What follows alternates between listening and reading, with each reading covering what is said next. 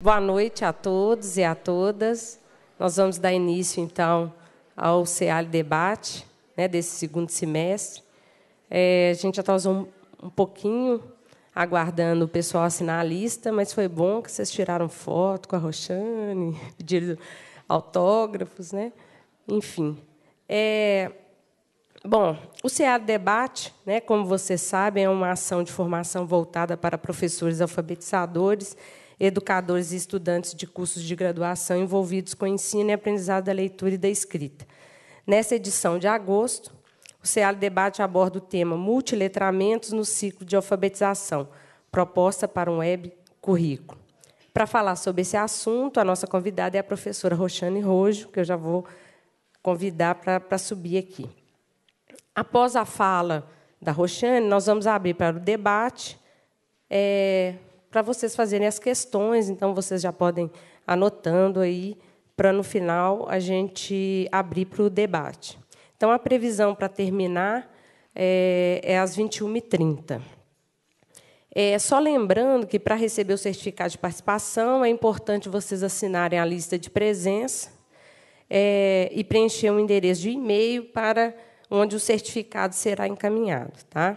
Conferir o nome se está certinho lá, tá bom? Bom, então vamos lá. Palestra de hoje. Multiletramentos no ciclo de alfabetização, né, proposta para um web currículo. É, discutirá os conceitos de multiletramentos e de novos letramentos, pensando nas mudanças em relação aos letramentos convencionais ligados à letra e ao impresso. Será dado destaque às reconfigurações dos textos multissemióticos e da noção de autoria, explorando o conceito de produ é, termo criado a partir da junção das palavras produtor e usuário. A palestrante apresentará possibilidades para a construção de um web currículo, um currículo escolar que considere e inclua tecnologia digital em sua elaboração. E discutirá propostas de um ensino híbrido no ciclo de alfabetização. Então, vou convidar agora a nossa palestrante, a professora Roxane Rojo, para subir aqui. E eu vou falar um pouquinho, né? Bem rapidinho, o currículo dela é extenso, mas eu vou falar, né, um pouquinho.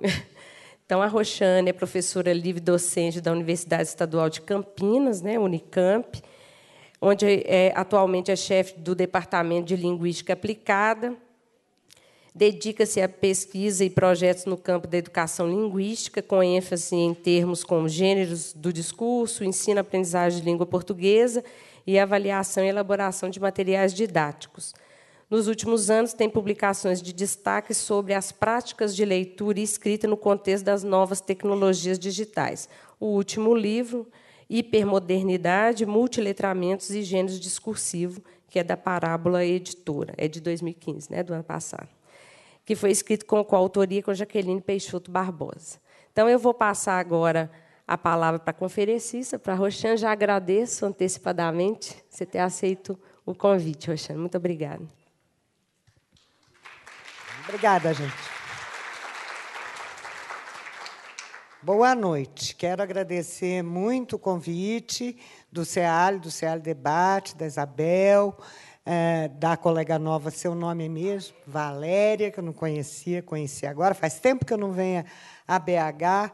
Gosto muito de estar sempre com o povo do CEAL. Então, agradeço muito, Isabel, o convite. Estou contente de estar aqui. Eu vou começar com uma, programa, uma provocação com vocês, né, que é para colocar a minha questão. A provocação é, é. Ah, deixa eu ver. É, mas não tocou, claro, eu tirei ela. Essa musiquinha aqui. Noel Rosa, 1935, né? que dizia A, O, U na cartilha da Juju. Né? A Juju sabe ler, a Juju sabe escrever, a Juju escreve sal com C cedilha. Né? É, tá bom que a gente não acredita muito mais em cartilha, né? Vamos tirar o Noel aqui. A gente não acredita mais em cartilha há algum tempo, mas a gente continua bastante aferrado na escola em geral, em particular na alfabetização, ao letramento da letra. Claro, né? Porque afinal é o momento onde eu vou ensinar a ler e escrever letras impressas e manuscritas, né? A minha questão e a provocação é: a gente já sabe que não precisa mais da cartilha da Juju. Mas a gente sabe que eles continuam escrevendo sal com C cedilha até bem tarde, né, na nossa formação de leitores e escritores. Não só aqui, em vários lugares. É, alguns lugares tidos como é, valorizados, etc., em educação, como a Finlândia, acabaram abolindo a escrita manuscrita, né? Só estão trabalhando com digitação e tal. Então, a minha provocação é: vamos continuar com a letra, evidentemente, e com a leitura e com a escrita. Mas será que da mesma maneira? Quer dizer, quando é que a gente começa a se valer das novas tecnologias e das novas práticas? Né? Daí o título Voando com Crianças, porque eu acho que essas crianças de hoje em dia, estou falando meus netos, e meu neto vai aparecer aqui na fala, elas voam, elas vão rápido demais, né? uma coisa de um desenvolvimento impressionante dentro das tecnologias. Né? Como é que ficam, então, os multiletramentos no ciclo de alfabetização? Que propostas a gente tem? Né? E vou defender a proposta de uma colega da PUC de São Paulo, da Educação, a Beth Almeida, que defende a ideia de um web currículo. Né? É, um web currículo é um, eu vou chegar a uma definição, uma hora aqui mais detalhada, mas é um currículo que admite que a te tecnologia principal hoje em dia para trabalhar, para aprender, para circular informação, para se divertir, não é mais meramente só o impresso, né? Mas é, é, principalmente o impresso combinado ao digital. O impresso não desaparece, o escrito não desaparece, mas ele se reconfigura. Né? Então, ela acha que o currículo tem que combinar essas duas tecnologias, por mais que a gente tenha mazelas, e as pesquisas mostram que a gente é cheio das mazelas, não tem, não tem equipamento nas escolas, quando tem equipamento não tem conexão, a gente sabe tudo isso. Né? Mas, enquanto a gente não batalhar por isso, também vamos continuar sem ter. Então, esse é o, o quadro geral da posição que eu vou defender e fundamentar. Né? Então, voando com crianças, é, a questão que eu estou colocando abre uma caixa de Pandora, né? O que que faz o professor com essas tecnologias dentro da sala de aula?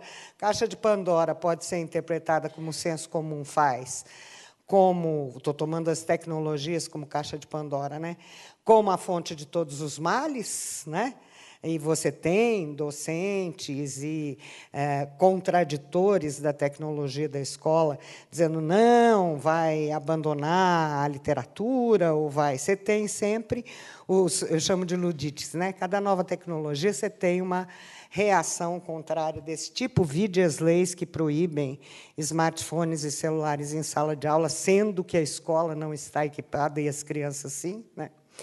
mas é proibido trazer e tal. Então, caixa de Pandora para todos os males ou caixa de Pandora, como muitos mitos gregos é, é, encaram a, a, fonte de todo conhecimento. Né? A caixa de Pandora é um pouco como a maçã de Adão e Eva. Né? Será que são todos os males e pecados ou será que é a fonte do conhecimento? Né? Vou começar com esse vídeo. Eu gosto muito desse vídeo. Deixa eu parar ele aqui um pouquinho, depois eu volto ele para o comecinho. Esse vídeo é um vídeo que um pai fez da filhinha dele de um ano, no ano quando o Steve Jobs morreu. Né? Ele tinha dado um iPad, eh, tinha um iPad, a menininha usava o iPad, e ele fez uma homenagem ao Steve Jobs, na morte do Steve Jobs, com esse filminho dessa menininha. Ela tem um ano. Né? E ela faz coisas muito engraçadas. Talvez vocês já conheçam, porque é um filme velho. Ele fez quando ele morreu, portanto, é um filme de 2011.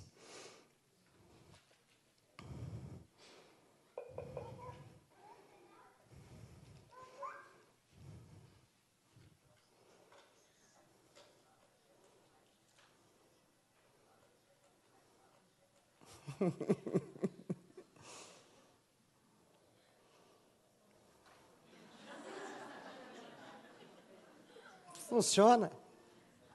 Está quebrado.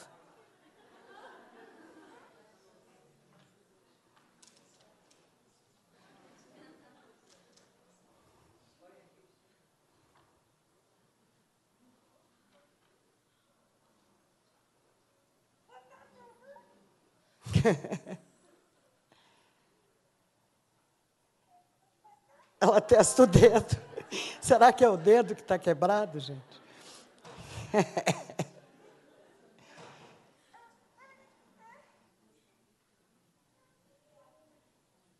Aí, quando pega de novo o iPad, é uma alegria só, né? E aí ele diz: ah, para minha filha de um ano de idade, uma revista é um iPad que não funciona. Isso vai durar para o resto da sua vida. Steve Jobs codificou o sistema operacional da minha filha. E eu acho que é mesmo principalmente isso. Essas crianças não vão ser usuárias desta máquina que eu estou usando. Né? Essa máquina que eu estou usando, ela é uma metáfora. Na tela, ela é uma metáfora do papiro, né? porque ela rola que nem o papiro. Na, na base, ela é uma máquina de escrever. Né? Então, ela é uma caudatária aqui, de várias maneiras, né, do impresso e do escrito, da cultura do impresso. As telas de toque, celulares, tablets, etc., e sabemos lá mais o que está por vir, né? óculos, relógio, não sei o quê, a ideia é uma tecnologia ubíqua que se incorpore ao corpo. De certa maneira, isso aqui já está incorporado ao, ao corpo, faz parte da nossa mão. As pessoas andam na rua, eu tenho até uma certa implicância com esse negócio assim, grudado na cara. Agora, com o Pokémon GO, então, pode esquecer. Né? Muito que bem, é, é, isto é muito diferente. Esse filminho foi o primeiro filme que me fez concordar com os autores que diziam que a tela do computador, eu nunca achei que era, né? era um suporte. É, por que, que eu não concordava né? com Chartier, por exemplo, que chama de suporte, com vários autores? Porque a definição básica do Chartier, suporte é aquilo onde, onde a escrita se inscreve.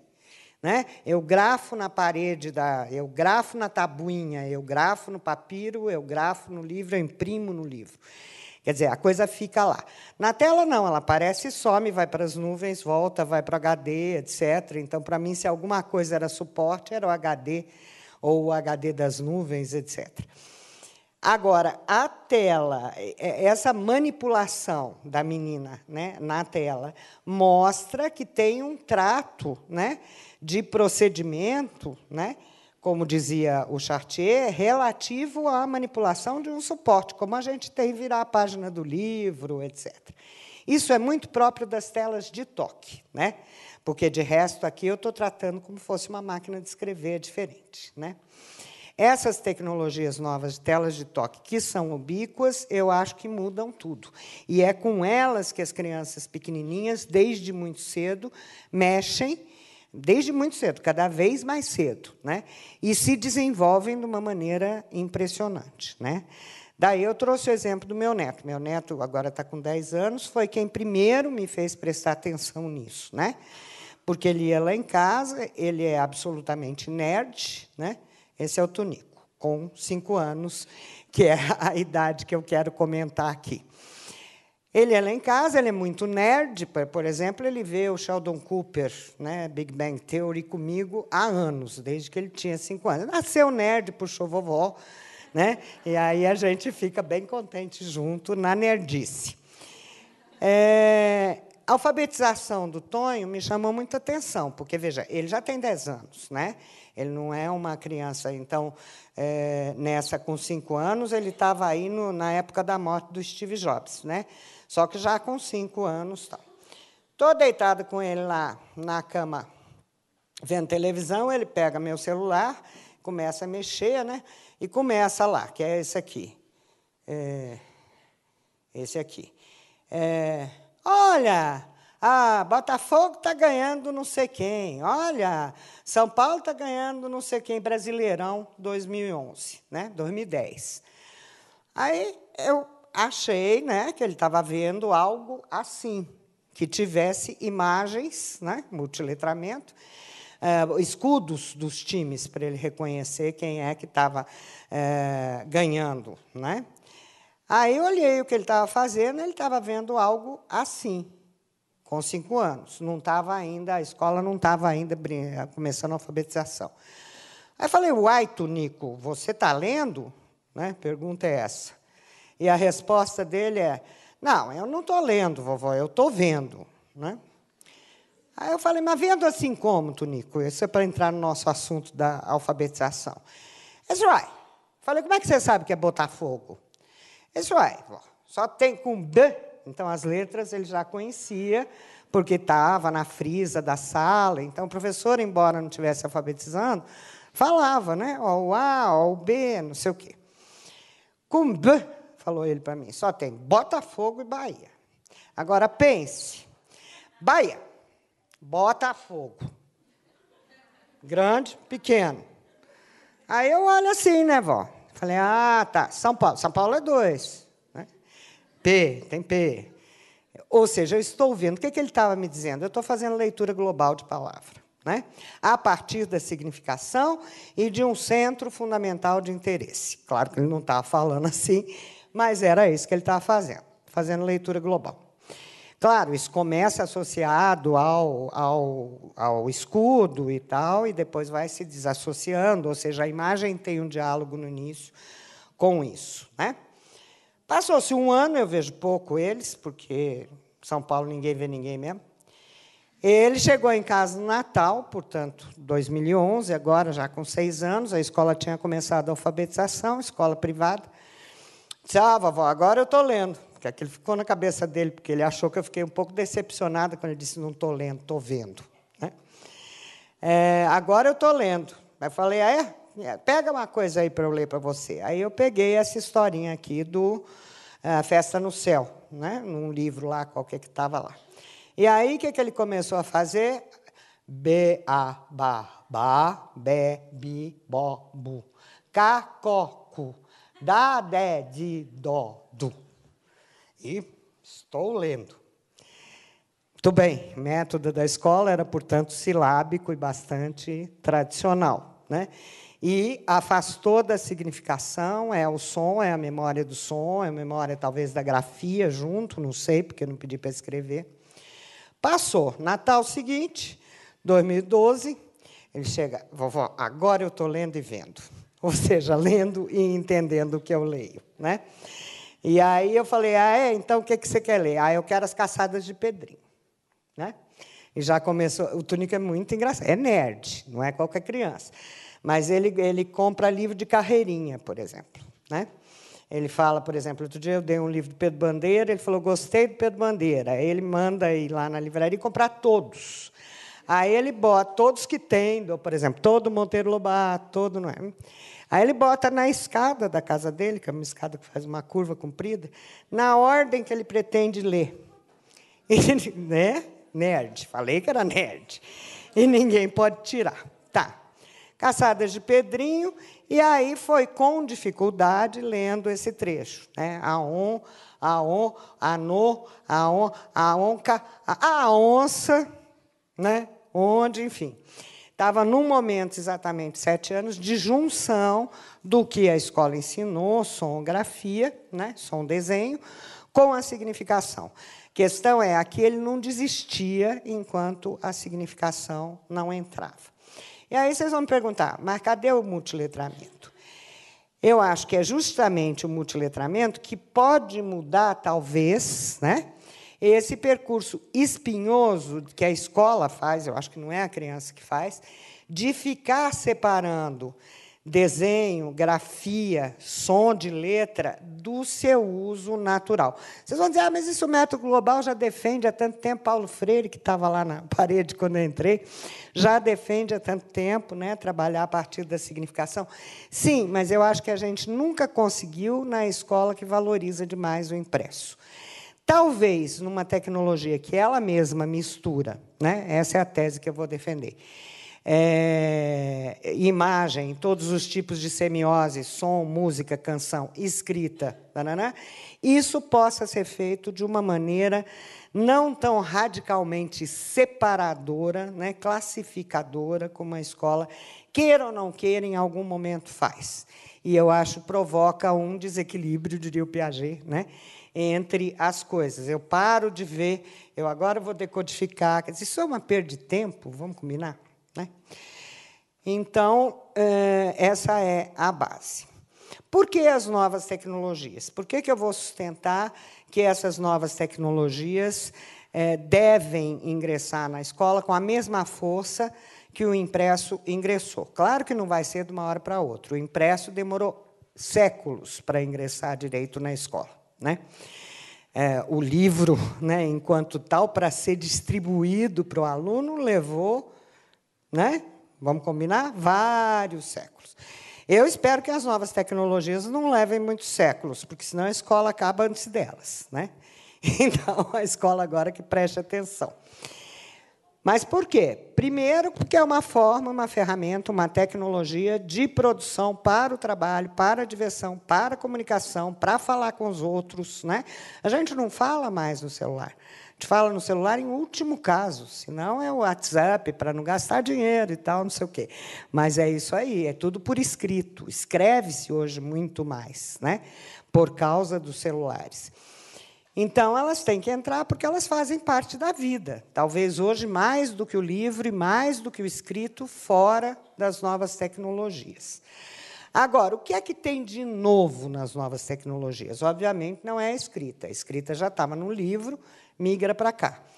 O que tem de novo é dois conceitos importantes: multiletramentos e novos letramentos. Multiletramentos, o quê? Ela é capaz de misturar todas as linguagens, né? porque para ela é tudo um zero, um zero, um zero. Então, para ela, tanto faz que o pixel que ela vai designar, né? o pontinho que ela vai designar na tela, compõe um quadro do Rembrandt ou uma escrita, porque a escrita também é imagem e para ela também é pixel. Né? É só se distribui diferente na tela. Né? Então ela mistura, vocês vão dizer, ah, sim, mas já tinha, né? Na televisão, no rádio, já tinha contato com outras linguagens, imagem, movimento, no livro didático, imagem estática, é, canção, música e tal. Na TV, no rádio, né? Sim, só que TV e rádio nunca conseguiu direito a entrar na escola, né? Sempre entrou muito lateralmente. Máximo de concessão é alguns vídeos de filme, de cinema, que certas disciplinas usam. Né?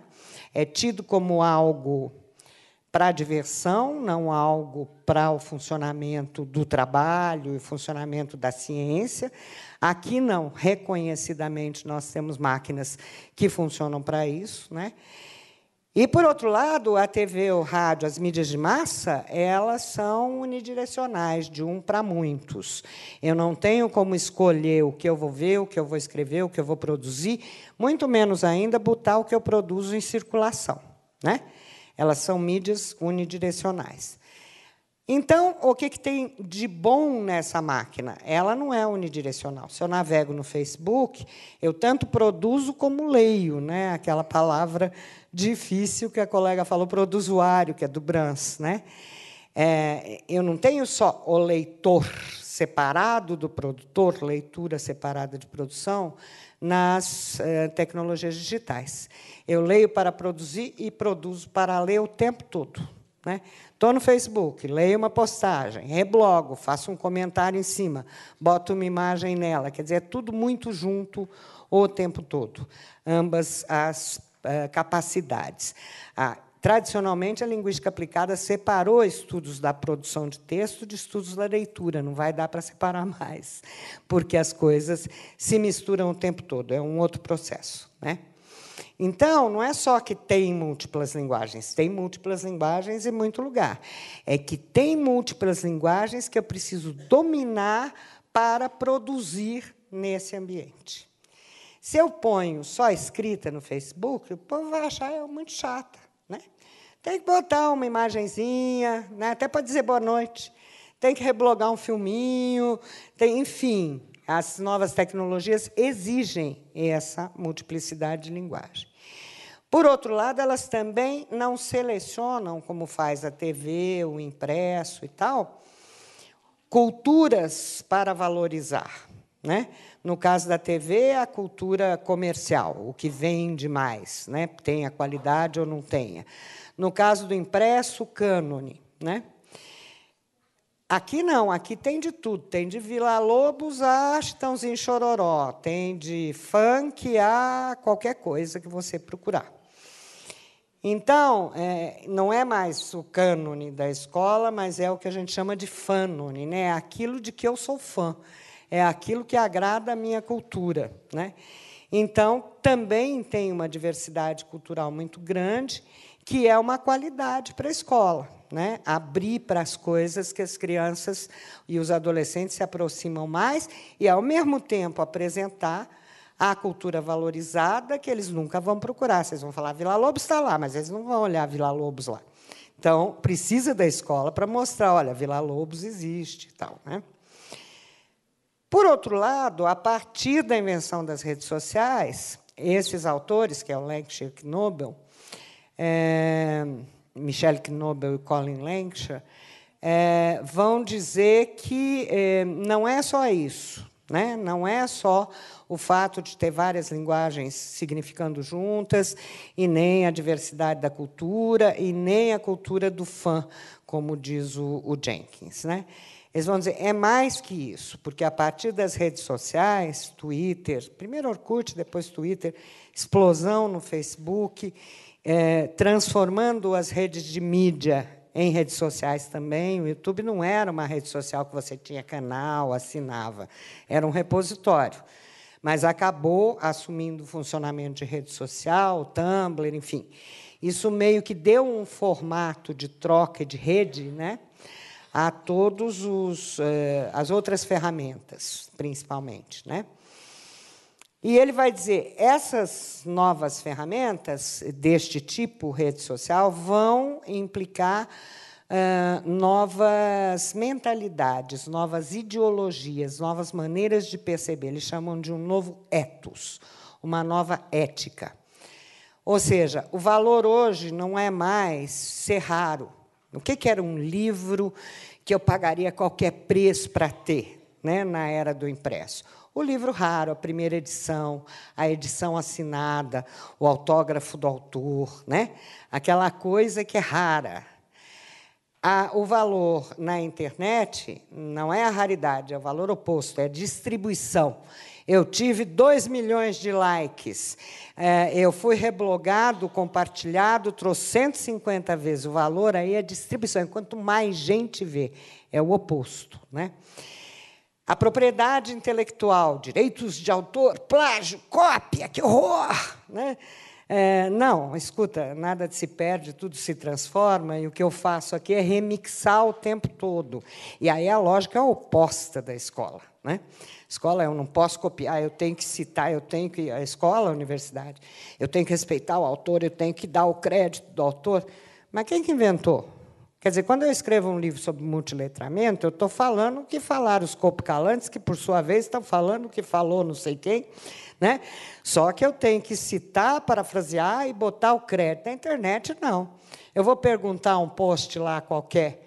Vamos pegar um post, os memes que saíram tirando sarro da atitude do Neymar no jogo do Brasil. Né? Do, ainda vão me. Como é que é? é. Hã? Vão ter que me engolir tal, aquela coisa horrorosa. Saiu um monte de meme. Né? No dia seguinte, tirando sarro da cara dele. E, como é que eu vou saber qual é o autor do primeiro meme que circulou e que depois foi sendo modificado? Nem que eu queira perseguir, não vou achar. Não tem a menor importância a autoria. O que tem importância é saber remixar, reinterpretar e fazer o novo a partir do velho. Tem a menor importância quem é o autor. Vocês têm gente que morreu por causa disso, né? E gente que ficou muitos anos na cadeia depois no exílio, que é o caso do Assange, do Wikileaks, né? É, porque é isso que está em questão, não é? A informação é livre e de livre circulação, é de todos, deve poder ser acessada aos, a, por todos, mesmo que seja informação da CIA. Assange ficou preso, depois foi exilado, tá? agora acabou de ser perdoado, pôde voltar para a Austrália.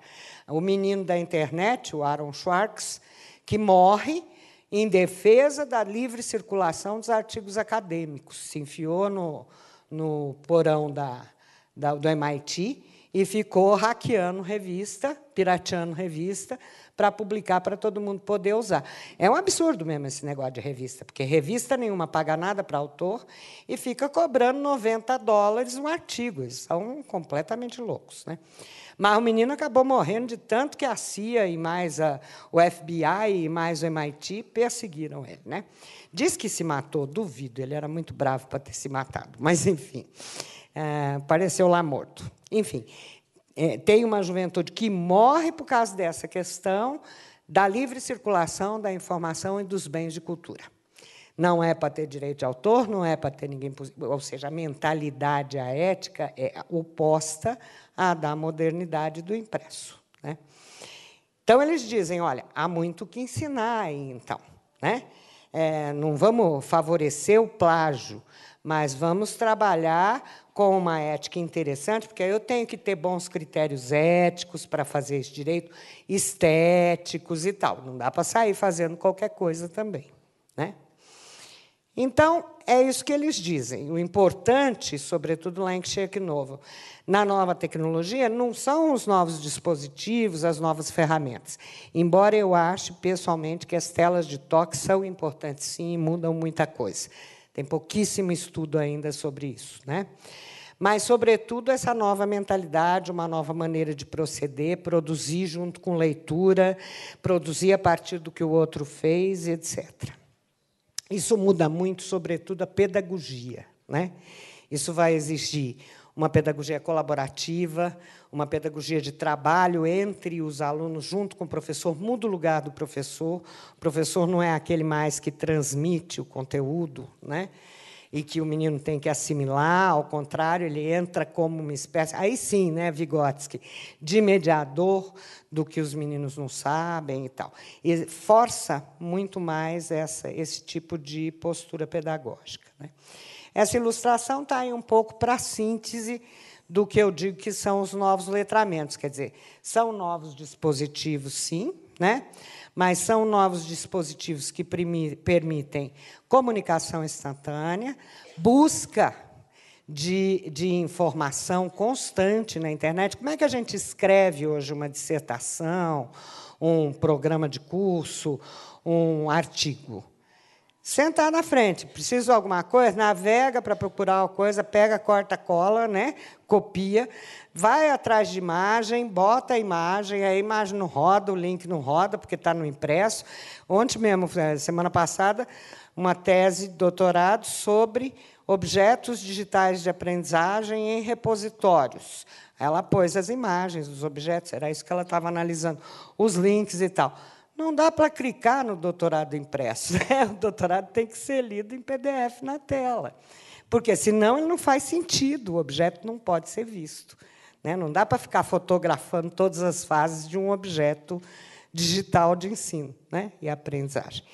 Então, a questão da busca com curadoria, com bons critérios de busca, que me levem a achar coisas interessantes, né? não é todo mundo que sabe fazer. A questão da instantaneidade e da rapidez de troca de informação, a questão da apreciação do que os outros fazem, né? do curtir, compartilhar, descurtir, amar, chorar, fazer uau, ser irônico, agora vai aumentando o tipo de carinha. A coisa que eu não preciso mais armazenar na minha máquina, por isso as máquinas podem ser cada vez mais leves e menores de memória porque eu posso ter armazenamento em nuvem, onde todo mundo pode pegar. A coisa do feed, esse menino que eu acabei de dizer que morreu por causa de direitos de autor acadêmico, Aaron Schwartz, que inventou isso aqui com 13 anos de idade. Com 15 ele entrou no mestrado do MIT, né? Esse feed, esse feed é a assinatura, fidelização para os podcasts, né? E que eu depois mudou, não tem mais. É, mas é, é, a fidelização, seguir canais, né? que está fazendo, por exemplo, a Kéfera, que é uma blogueira, uma vlogueira né? da internet, não das melhores, inclusive, bater o Machado de Assis no levantamento Retratos da Leitura, né? em termos de venda. É uma porcaria os livros dela. Não tem importância. Esses jovens não leriam se não fosse a Kéfera, não leriam o Machado, tá certo? Então, a Kéfera aproxima de uma leitura do impresso, embora ela venha de outra mídia. Né? A questão das várias linguagens, que eu já falei, e a questão da mudança de tempo. Isso todos nós sentimos. Né? Esse negócio que hoje em dia o cara manda um e-mail e acha que está mandando um WhatsApp. Dali a meia hora ele te liga fala: Você não respondeu ao meu e-mail? Eu falei: Sim, era um e-mail. E-mail é assíncrono. Eu respondo a hora que eu quiser. Né? O WhatsApp é que é instantâneo. Eu, eu não sou nada educada nessas horas. Né? Mas é isso, né? a coisa da instantaneidade do tempo, que a gente tem que tomar cuidado com isso. Questão é: uma tecnologia suplanta a outra? Ou elas convivem e se complementam? Na vida, elas convivem. Na minha vida, na vida do Antônio, né? porque um, um dos temores do professor é não vai mais ler o impresso. Lê sim, e lê mais até. Eu acabei de dar o exemplo da Kéfera. Vocês vão falar, mas não quero que leia a Kéfera.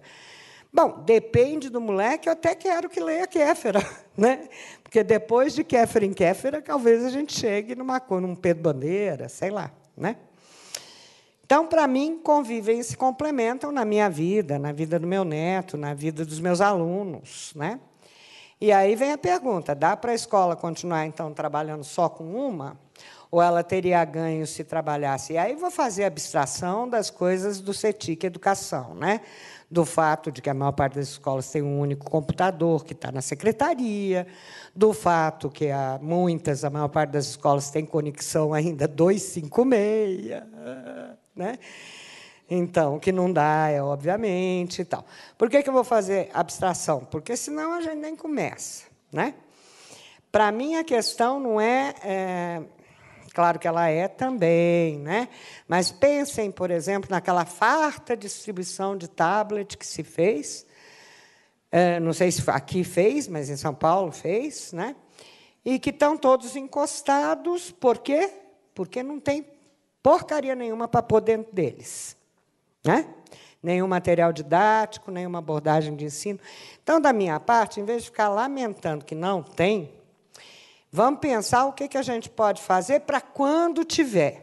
Né? Em São Paulo, pelo menos, eles vão começar a rever a lei contra os celulares. Thanks God. Porque os meninos têm, né? Eu estava fazendo um material que eu vou mostrar para vocês daqui a pouco, é, para a secretaria, para essas crianças de primeiro a quinto ano, né? de seis a, a dez anos. E aí perguntei para os professores que estavam ajudando, eu falei, mas Será que eles têm celular? Porque eu tinha uma hora que eu queria que fotografasse com celular alguma coisa.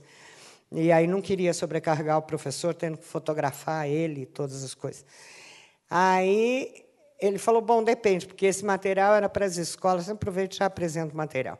Era para as chamadas escolas em situação de risco, que é um eufemismo para as escolas eh, de ensino integral, ou seja, que os meninos ficam o dia inteiro e essas escolas ficam nas tais escolas em situação de risco, que é eufemismo para dizer dentro da favela. Né? Então, Heliópolis, Paraisópolis, etc. Né? E também no interior. Tá. E aí eu falei para o professor, mas será que esses meninos têm celular? Né? Porque Heliópolis, ele falou, bom, depende. Se eles não forem filho ou parente do traficante, eles têm assim um Motorola, alguma coisinha assim. Agora, se for filho ou parente do traficante, eles têm iPhone, iPad, etc. e tal, né? Certo, Alberto, ou seja, não é mais uma coisa. No caso do celular, computador sim, mas o celular, embora ele seja tão caro quanto, muitas vezes, não é uma coisa que só a camada alta tenha no Brasil. Né? Então, eu faço essa opção né, e defendo que a escola comece o quanto antes a trabalhar com as duas tecnologias. Não significa abandonar, obviamente, nem o impresso, nem necessariamente, como fez a, a Finlândia, a escrita manual, embora talvez haja vantagens né, para certas crianças que eu abandone a escrita manual. Eu sei porque eu sou uma delas. Né? Eu tenho uma extrema dificuldade motora. Durante todo o primário, eu fui reprovada nas provas porque eu não conseguia acabar a tempo, porque sabe aquele que escreve assim? Com a linguinha assim? Porque tem uma dificuldade danada. Tem até hoje, minha letra é horrível, manual, né? cada vez pior agora, porque a gente não precisa mais usar, graças a Deus. Assim que saiu o computador, comprei imediatamente para nunca mais precisar escrever à mão. Né? Em 1985, eu comprei meu primeiro computador. E antes eu já tinha inventado o computador com um joguinho dos meus filhos que chamava Hot Beat, que era para jogar aquela bolinha branca na tela verde, e que tinha um teclado. Aí eu descobri que se eu digitasse no teclado, ele escrevia a letra branca na tela. Aí eu liguei minha máquina elétrica nele para ver se ele, ela imprimia. imprimia. é, eu comecei a datilografar, quer dizer, inventei a minha impressora e o meu computador antes de sair computador para comprar porque eu tinha muita dificuldade. Do mesmo jeito que eu não consigo caminhar, fazer corrida, andar de bicicleta, nadar, não aprendi nada disso. Eu andei com quatro anos de idade, né? ficava só sentado falando. Alfabetização foi. Né? Alfabetização foi um desastre. Né? Passei o primário inteiro repetindo. Faculdade de Nuprete me deu zero, porque disse que não entendeu minha letra. Né? Enfim, é, web currículo, então, sou a pessoa mais favorável do mundo, porque eu acho que a criatura que, como eu, penou, na frente de um teclado não pena. Tudo bem que eu faço com dois dedos e continua, mas o cara lê, não vai me dar zero porque é elegível, né? O cara lê o que está aí. Enfim, acessibilidade para cego, para surdo, não tem, não tem comparação, né? Para tortinho que nem eu. Mas não é só por isso, não. É porque o acesso à cultura é muito vasto e eu não sou receptor, eu sou receptor e produtor. Coisa que a escola resiste muito deixar o menino efetivamente produzir, não copiar, não reeditar, não repetir, produzir, criar coisa. É difícil a escola conseguir deixar isso acontecer. Então, o web, o web currículo, esse conceito de Beth Almeida, né? que vem defendendo isso já há algum, ano, algum tempo. E aí isso é uma entrevista dela que ela leu, deu para os livreiros, para Abre Livros, né? em 2014. Aí Abre Livros pergunta: o que é um webcurrículo? Ela diz: não é só a informatização do ensino, tá? não é só botar computador na escola, nem conexão. O webcurrículo é muito mais, ele representa a integração, e é isso que eu estou defendendo, curricular, abrangendo a tecnologia e toda a sua multiplicidade de linguagens. Temos que pensar nos recursos abertos, portanto, repositórios, objetos de aprendizagem, né? Uh, no potencial de criação de novas interfaces e recursos utilizados pelo estudante, é, gamificação, por exemplo, propostas de a, os meninos criarem games, que tem muita gente que defende isso em programas mais simples, jogarem para aprender, dependendo do tipo de game. Claro que não vai ser um game de tiro em primeira pessoa, né? mas há games que são muito interessantes é, para a aprendizagem em geral. Né? É, o, a força do trabalho colaborativo, que pode expandir o conhecimento para outros estados, outros países, quer dizer, para quem ensina língua estrangeira, você formar grupos né, de, de rede social com é, tem um, na universidade tem um negócio chamado teletandem que é justamente isso né botar o menino aqui que está aprendendo inglês conversando com o cara na Austrália na Inglaterra etc tal. É, nem chego tão longe acho que se ficar no nosso país já está muito bom o espaço da escola não é mais o único lugar de produção do conhecimento. A Web trouxe a cultura dos museus, dos laboratórios virtuais para dentro da sala de aula, e os alunos podem navegar em qualquer museu do mundo, verdade, alguns, por exemplo, você pega pelo Street View no, no Google Maps, né? o Google Earth Street View, a Pinacoteca de, de, de São Paulo, lá do lado da Estação da Luz, você vê a Pinacoteca inteira. Né? com explicações. Você vai andando lá dentro com a câmera, vai passando, é uma beleza, né? Como muitos outros museus, né? É, fazer visita a esses espaços nem sempre é viável, tal. Segunda pergunta: em alguns casos os alunos sabem mais que os professores sobre tecnologia, game, por exemplo. Como é que fica essa situação? Semana passada o, o tema da, das duas aulas, pós-graduação e graduação, era game. Lembra? Dificuldade motora. Não dá para eu jogar game. Só um ou outro. Pokémon, mataram o primeiro Pokémon, levei três dias para acertar a bola, a Pokébola no Pokémon. Então, no game não vai ser minha parada, tá certo? O que, que eu faço quando eu trabalho com game? Eu peço para eles me darem aula. Eles é que jogam game, eles conhecem game. Vamos trocar de papel e vamos discutir como é que isso funciona. Né?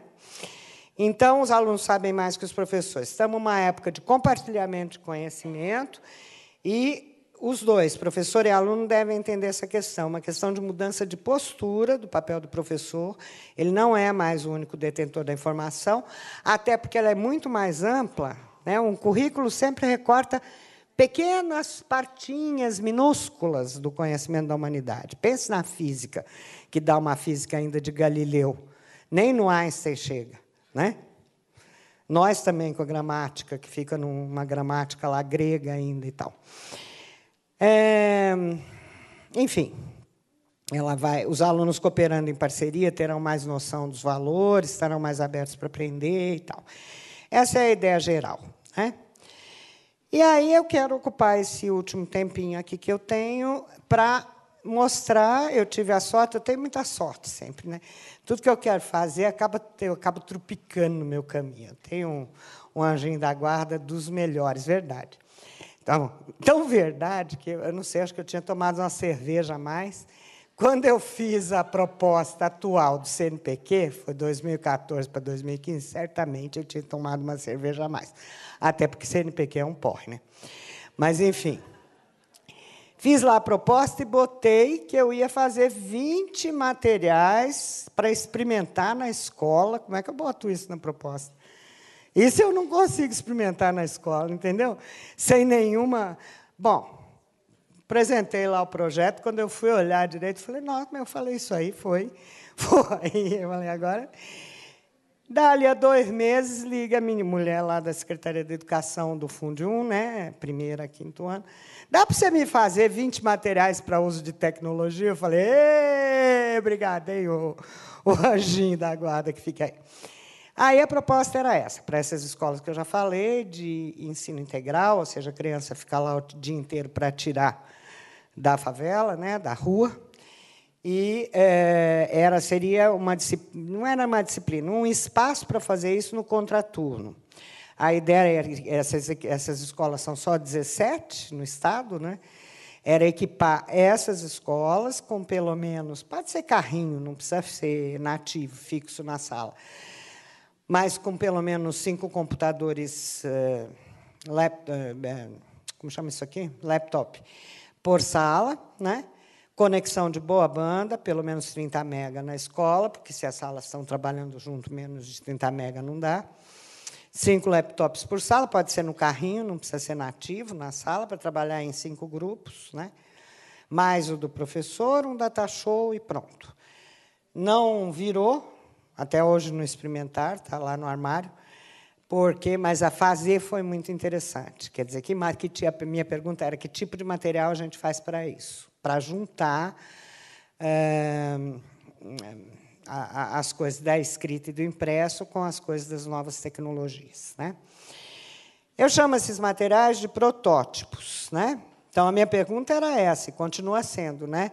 O que fazer como material para pôr lá dentro? Quer dizer, para mim a questão não é dar o tablet.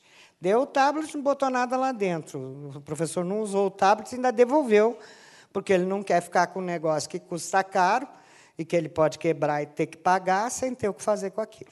Né? Pelo menos foi assim que aconteceu em São Paulo. Mas, para mim, assim, que tipo de material a escola pode eh, viabilizar? Né? Estou na mesma do livro didático até hoje, só que agora não mais livro didático. Né? Eu chamo de protótipo. Por que protótipo? Porque a ideia é, e vocês vão ver que nem sempre a gente consegue, às vezes consegue isso aqui, dá, dá dando para ver agora. Às vezes consegue mais, às vezes consegue menos. A ideia é fazer uma coisa, uma espécie de espinha dorsal, um esqueleto, é, robusto, que o professor possa dar aula a partir disso, mas que ele possa adaptar a sua realidade no seu local, ao, ao seu alunado. Em alguns casos foi muito fácil fazer. Por exemplo, tem um protótipo de quarto ou quinto ano que a Kátia fez. Meus alunos fizeram, né? Eu tive a ideia, fiz arquitetura e eles foram executando, eu fui supervisionando, os alunos de graduação e pós. Né? A Kátia fez esse. que ela resolveu falar da questão São Paulo, né? Da, que estava no auge dessa questão lá em São Paulo, das ciclovias para os meninos de quinto ano. Ciclovia em Piracicaba vai ser uma coisa, em Sorocaba vai ser outra, em São Paulo uma terceira. Claro que ela partiu do foco de São Paulo. Mas aí do lado aqui para o professor, ó, é sempre assim o protótipo. Quer ver? Do lado de cá o aluno, lado de cá o professor, né? o vermelhinho professor. Do lado para o professor, a gente fazia sugestões né, de alternativas de links para ele acessar para ver a ciclovia em Piracicaba, Sorocaba, enfim, nas 17 cidades que faziam parte. Né? Nesse caso, foi muito claro, porque o estudo do meio era, é, começava no centro da cidade de São Paulo, capital. Mas aí a gente orientava do lado do carro para o professor, busque o centro histórico da sua cidade, por menor que ela seja, procure no Google Earth da mesma maneira. Protótipo por isso, quer dizer, a ideia seria um esqueleto de ensino-aprendizagem, uma proposta de aprendizagem, pedagogia de projeto, com um banco de links que o alimentem. Nós não chegamos nisso ainda, porque a secretaria pediu um material para o professor usar. Então, ele tem que vir mais fechado. Mas a meta é a gente transformar, de fato, nessa coisa que possa ser adaptada. Né? Que tem um banco de links com sua explicação para o professor, porque ele possa escolher. Como é que nós vamos fazer? Fica parecido com um repositório daí, mas, enfim, isso ainda não tem. Tem uma coisa mais feita assim. Né? Eu trouxe dois para a gente pensar na coisa da alfabetização, porque a discussão aqui não é propriamente qual é o melhor material didático né, para a tecnologia, se é repositório, se é objeto de aprendizagem, se é protótipo, se é o quê? Se é livro digitalizado, enfim. Mas a discussão aqui é como é que faz com a alfabetização, e não são poucas questões. Então, eu trouxe dois protótipos de primeiro ano, ou seja, seis anos de idade, não estão lendo, não estão escrevendo, e não é na rede também uma série fortemente alfabetizante. Lá o ciclo alfabetizante é primeiro, segundo, terceiro, né? E a, a, coisa mais militante do professor de alfabetização começa, começaria, deveria começar no segundo, que é sete anos. Né? Seria os seis anos um lugar para ver livros, contar história, não é sempre o que acontece, muitas vezes já sai alfabetizando. Né? A gente fez quatro protótipos, a ideia é que cada protótipo durasse dois meses mais ou menos, porque seria uma aula por semana né? No, no período do contraturno. É, alguns muito simples, como esse primeiro, e muito mais próximos de gêneros e coisas que a escola já faz, receita. Né? cozinha, receita, etc. Outros usando coisas que a escola não faz, quer dizer, partindo de coisas que a escola faz, como cantigas, parlendas e tal, para chegar em cyberpoema e poema concreto.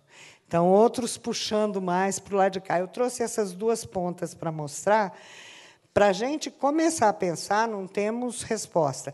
Como é que isso pode ou não afetar a alfabetização? Primeiro, eu quero explicar como eles são. Por exemplo, esse quem fez, a boa parte é, do primeiro ano, quem fez foi esse meu aluno doutorado, que é o Eduardo, do, de Moro Almeida, é, mas sempre ajudou uma professora da rede, que era PCNP, coordenadora, né, aqueles professores que formam professores. Que é, nesse caso foi Eliane Viana de Souza Palomares. Né? É, a ideia aqui é trabalhar com receita, então é muito mais próxima à prática já é, concretizada do professor. Né? Todo protótipo tem uma primeira apresentação, que é para aluno e professor. É claro que a gente sabe que, com seis anos, o aluno vai estar lendo isso aqui. Né? Mas a gente quis fazer com letra script maiúscula, para ele se familiarizar com as letras, bem grande no papel, inclusive. É claro que quem vai ler isso para ele é o professor. Né? Então, nesse caso, o professor conectado com o data show é básico. Né? Mas o que eu quero ver é isso aqui. Por exemplo, esse primeiro protótipo, que seria o primeiro do primeiro ano, tem quatro atividades só. Outros vão chegar a ter até seis ou sete. Né? Uma atividade que é tem criança na cozinha, eu sei que vocês não estão enxergando, mas eu vou falar, que é uma introdução ao tema e ao gênero a partir de vídeos da internet e tal. Ah, a gente usou aquele Ratatouille e alguns vídeos de programa infantil de culinária na internet. Né?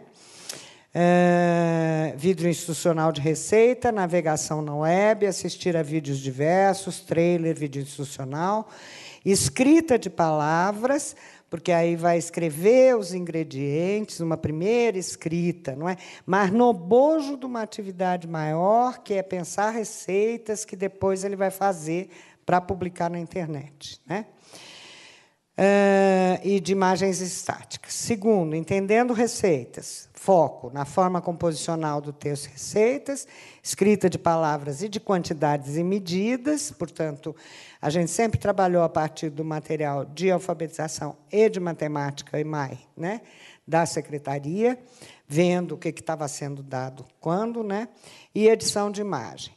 Receitas ilustradas, terceira atividade. Busca e edição de imagem, busca na rede. Esse é um momento, por exemplo, que as crianças de seis anos, embora ainda não escrevam, podem digitar, porque, veja, quando eu, eu digo digitar, eu não tenho mais todo esse problema do desenho de letra. Outro dia eu vi o filhinho de uma amiga minha penando, está com sete anos lá no primeiro ano, com a coisa do desenho, porque ele sabia que era uma bola. Agora, se a perna vai para baixo, se a perna vai para cima, se a perna vai fazer um tupete, ele não sei A, E, I, O, U, né? Ele não sabe no, no manuscrito, né? Aí fiquei lá brincando com ele, olha, esse aqui, o outro tem um tupete, esse aqui, né? Um tempão e ele sofrendo lá e a mãe brigando com ele, você é burro, menino, você é burro, né? Ou seja, né? É, aqui não, aqui ele vai digitar uma letra que está escrito igual está escrito aqui no script, né? Ele vai poder, né? E saber o que, que aquele significa, ovo do monstro, monstro, etc. E tal. Então, a questão, por isso a Finlândia aboliu né, escrita cursiva. Para que fazer penar desse jeito se nunca que vai escrever à mão, vai ficar catando milho no celular e, né? Certo, Alberto? Então, aí acho que para essa coisa que o Tunico falava, eu estou vendo, vó, não estou lendo, é uma boa fazer esse tipo de atividade, que ele vai buscar a palavra, por exemplo, no Google. Claro, tem que ser busca segura, o professor tem que preparar os computadores. Teve um aluno que foi fazer Branca de Neve, o idiota, esse eu dispensei, desliguei ele, é muito burro, não dá. Aí não fico trabalhando com burro. Branca de Neve, estava trabalhando com de fada. E manda o cara jogar Branca de Neve no Google. Só vem putaria, desculpe o termo. Né? Não vem Branca de Neve, só vem pornografia. Ele tinha que ter achado um site específico, tem busca que não dá para você mandar fazer. Né? Então, aí está uma formação do professor. Como é que eu faço busca segura com criança? Como é que eu faço curadoria? Que tipo de palavra uma criança dessa idade pode digitar ou não? Tal, né? Mas ele vai buscar, ele vai buscar fotos, né? É, para montar um álbum de fotos de receita, se não me engano, de brigadeiro. E vai fazer um álbum de fotos, né, que é um gênero de internet, que você bota a foto e bota algumas palavrinhas lá sobre as receitas, e publicar como vídeo. Vai fazer no PowerPoint e publicar como vídeo. Vai digitar pouquinho, são só palavrinhas, mas já está eh, preparando, de certa maneira, esse vendo do Tunico. Né? E, no fim, toda a turma, eles vão fazer sempre agrupados, em grupos de cinco, quatro, seis, dependendo da idade, né? E no fim eles vão sempre ter um blog da turma, um microblog que é no Tumblr. A publicação é sempre no Tumblr e sempre é, cada grupo publicando e comentando dos outros, igual ao Facebook. Eu publico, daí eu curto ou não curto, faço um comentário pequeno, etc. Né? Então tem essa conversa com ele e tem uma conversa com o professor. Né? É, queremos alertá-lo para algumas formas de trabalho. Como a gente não pilotou ainda, não dá para saber se vai dar certo, se não vai dar certo, só quando conseguir pilotar. Né? E exigências tecnológicas do projeto. A ideia é sempre que seus alunos trabalhem colaborativamente, em grupo de cinco cada. Cada grupo dispõe de um notebook conectado por Wi-Fi em uma disposição de mesas de trabalho que permita a colaboração. Isso foi uma coisa, por exemplo, que já empacou. Né? Que eu falava para a Sônia, eu quero mesa casa de abelha, aquela que junta e separa, né? para eles poderem se juntar, separar, fazer o que precisar. Sabe aquela mesa que engaja, fica redondinha? O governo não licita, só licita cadeira com coisa, ou então mesinha com cadeira. É mais barato, porque ela é de plástico, levinha, mas não licita. Aí mesinha fica mais difícil já de manejar, né? A mobilidade fica difícil. É, bom, tá. Além disso, esses notebooks todos deverão ter instalados. Estou supondo que a escola não tem suporte de informática, né? é, pelo menos os seguintes programas, assumindo que a plataforma é o Windows: Windows Movie Make, Office, Word, PowerPoint, Excel, Audacity, Mozilla Firefox. E aí, para ajudar a piratear um addon do Mozilla Firefox chamado Download Helper, que é para piratear vídeo, é, Adobe Flash Player, e para poder funcionar. Né? Depois, algumas vezes, outros programas poderão ser, ou seja, o professor vai precisar preparar a máquina, as máquinas, etc. Prepare a sua máquina, tenha um pendrive para pegar o trabalho dos alunos, se a máquina rodiziar, enfim. Para cada ano, você deverá também criar um microblog no Tumblr, com blogs adicionais para cada grupo. Né? Acesse, aí tem todo um tutorial, tal, acesse o tutorial, tal. A cada início de atividade, Caso não usem o mesmo notebook em todas as aulas, oriente os alunos a criarem uma pasta. Claro, o professor do primeiro ano vai ter que fazer isso em cada máquina. O professor do quinto já não precisa mais. Né? Se vocês fazerem uma ideia do. E eu botei no Preze, esse Preze, se você puser aquele título lá, Voando com Crianças, no Preze vocês acham. Tá? É, e aí tem o um link para os protótipos eles mesmos. Né?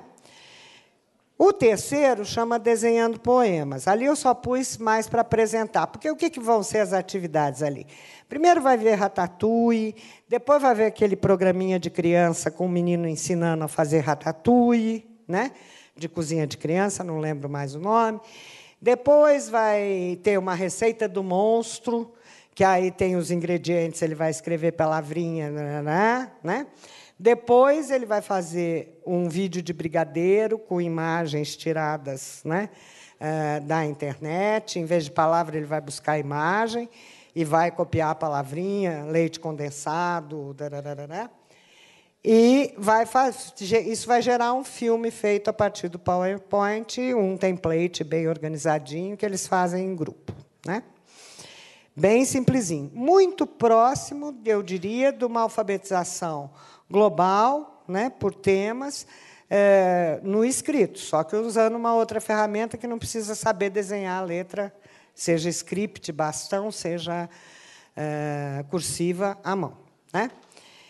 Esse já é bem mais ambicioso, quer dizer, esse já entraria no começo do segundo semestre dos seis anos. Chama Desenhando Poemas. Vai partir das parlendas, cantigas, que eles já fazem no currículo regular, né?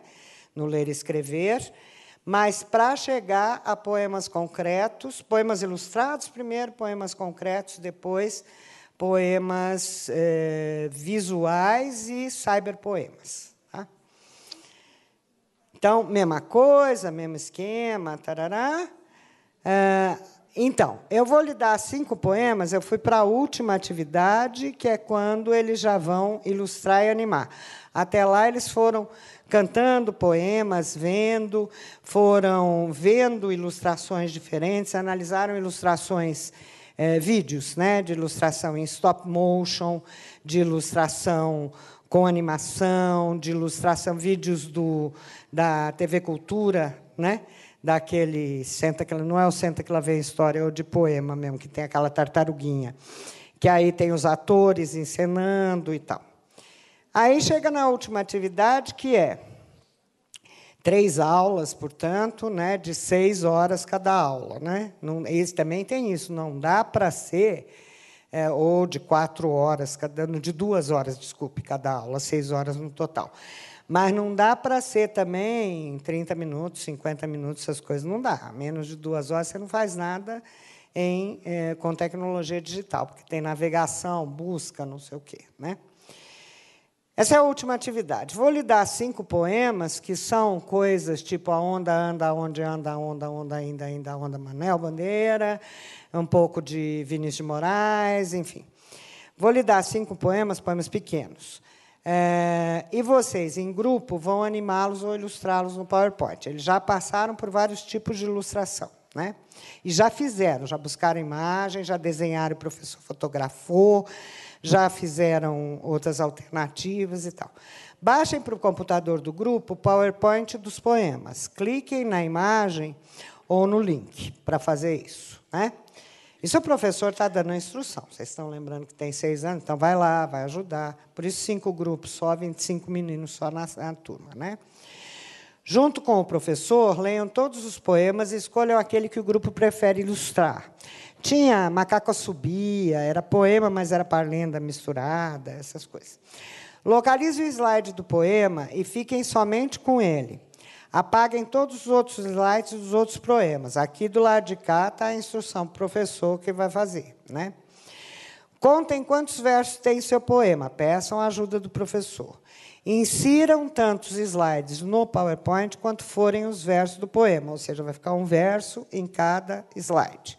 O professor vai fazer, vai ajudar, etc. Deixem o primeiro slide como capa, com o título e o nome do autor do poema. Estão aprendendo sobre poema também, né? Verso, linha, título. Né? Nos outros slides, copie, Ctrl C, Ctrl V, um verso em cada slide. Vão aprender também, começar a manejar máquina.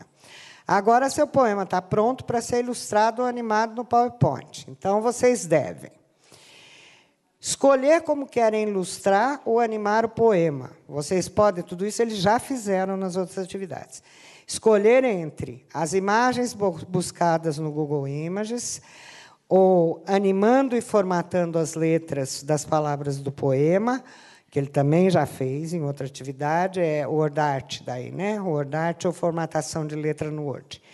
Ou também as duas coisas. Em todos os casos, sigam a instrução do professor.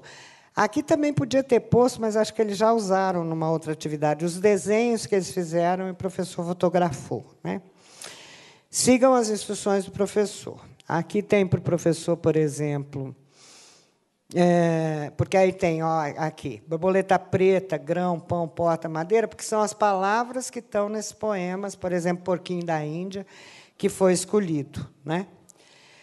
Aí tem tutorial para o professor tal. Vocês vão escolher o tipo, a cor o tamanho da letra, para quem for animar a letra, fazer é, poema visual ou poema concreto. Né? Posição dos efeitos do texto tal. Abram o Word no computador, escolham a frase do grupo. Aí a gente deu uma lista de frases, por exemplo, meio-dia, ou macaco subia, ou mas que tem um sentido, né? É, porquinho da Índia, enfim. Aí vem um exemplo aqui para o aluno ver. Né? Escolhem a frase do grupo, copiem e colhem na página em branco do Word e explorem as possibilidades de alterar as letras, posições e formatos até ficarem satisfeitos. O professor, no começo, vai ter que ensinar a selecionar e clicar no Art lá em cima. Né? Mas isso eles aprendem pim-pam também, rapidinho. Né? Salvem seu poema concreto na pasta do grupo. Por exemplo, a frase meio-dia, eu fiz e fiz mesmo, com toda a minha dificuldade motora, esse poema aqui, que é meio-dia, esse trabalhado no Ordarte, posicionado, né, fazendo um sol.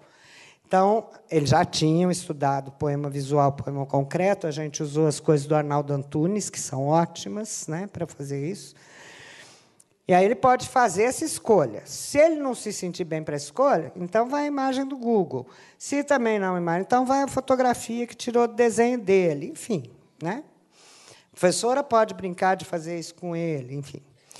Agora, como é que a gente pode fazer para que todo mundo possa ver o bonito trabalho? É, essa coisa também começa com um vídeo, esse protótipo, de uma professora de sexto ano que os alunos produzem os poemas, depois ilustram e animam, e ela fez um vídeo botou no YouTube para mostrar o trabalho da turma. Então, começa com eles vendo isso e termina com eles publicando o que cada grupo fez né, ao longo do projeto. Então, teve uma hora que tirou fotografia ilustrou, teve outra hora que e tem esse final. Né? Agora, como é que a gente pode fazer para que todo mundo possa ver o bonito trabalho que vocês fizeram? Ah, a gente pode publicar na internet, né? Pois, agora o professor vai publicar no Tumblr da turma, sempre professor, porque eles não podem ter nem e-mail, nem muito menos se cadastrar. Então, o Tumblr é do professor, ele que maneja, mas publica para aquele grupo e para aquela turma. Né? Todos os vídeos dos grupos, assim como os trabalhos anteriores. A quadrinha ilustrada com desenhos, o poema ilustrado com a imagem da internet e o poema concreto. Né? Aí tem as instruções para publicação no Tumblr. Para se inspirar, vejam uma animação de um dos poemas, A Onda, de Manuel Bandeira. Já mostro para vocês essa animação lá no outro, porque aqui acho que ela não vai rodar, que está sem internet. Terminaram de animar e ilustrar os poemas? Gostaram? Ficou bonito? Então, salvem no PowerPoint como filme e sigam as instruções da professora. Olha ele aí. Só que essa é animação mesmo, né? Mas dá ideia para eles, né? De como é que eles podem mexer com as letras. Esse foi um dos poemas que a gente deu. Deu esse, deu Porquinho da Índia, Macaco Subia e tal. Né? A ideia é, eu estou mexendo com letra, estou mexendo com escrita com base em imagens, sempre junto, e para fazer alguma coisa divertida que me traga também a literatura junto, né? ou a receita, ou a, enfim, né? que não separe a letra do texto, que é uma batalha que a gente tem, né? desde que eu comecei a minha carreira com a alfabetização, e que sempre é difícil de fazer, porque chega na hora que o professor quer focar na alfabetização, ele vai isolar o sistema do texto. Né? Aqui fica mais difícil, né? As coisas que tem em celular para alfabetização são um horror. Eu tenho uma aluna de PIBIC olhando isso. É tudo método fônico, fica mandando o menino reproduzir.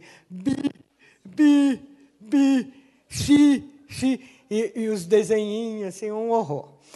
Então, aí, como é que faz para trabalhar de outro jeito? Né? Então, parabéns, tal, papapó. Vai nessa linha. Né? Tem um de cozinha, um de festa, no primeiro ano, um de festa de aniversário, um de animais, que é para fazer álbum, álbum de fotos mesmo com pequenas legendas de nomes de animais e contar como é que é o animal, o que que você gosta dele gravando, né? E aí monta um álbum de fotos para cada grupo e publica, né, dos animais que escolheram. Coisa pequena, mas que vai sempre mexer com uma escrita sem um investimento alfabetizante direto e usando a máquina. Esta máquina, não tela de toque, tá?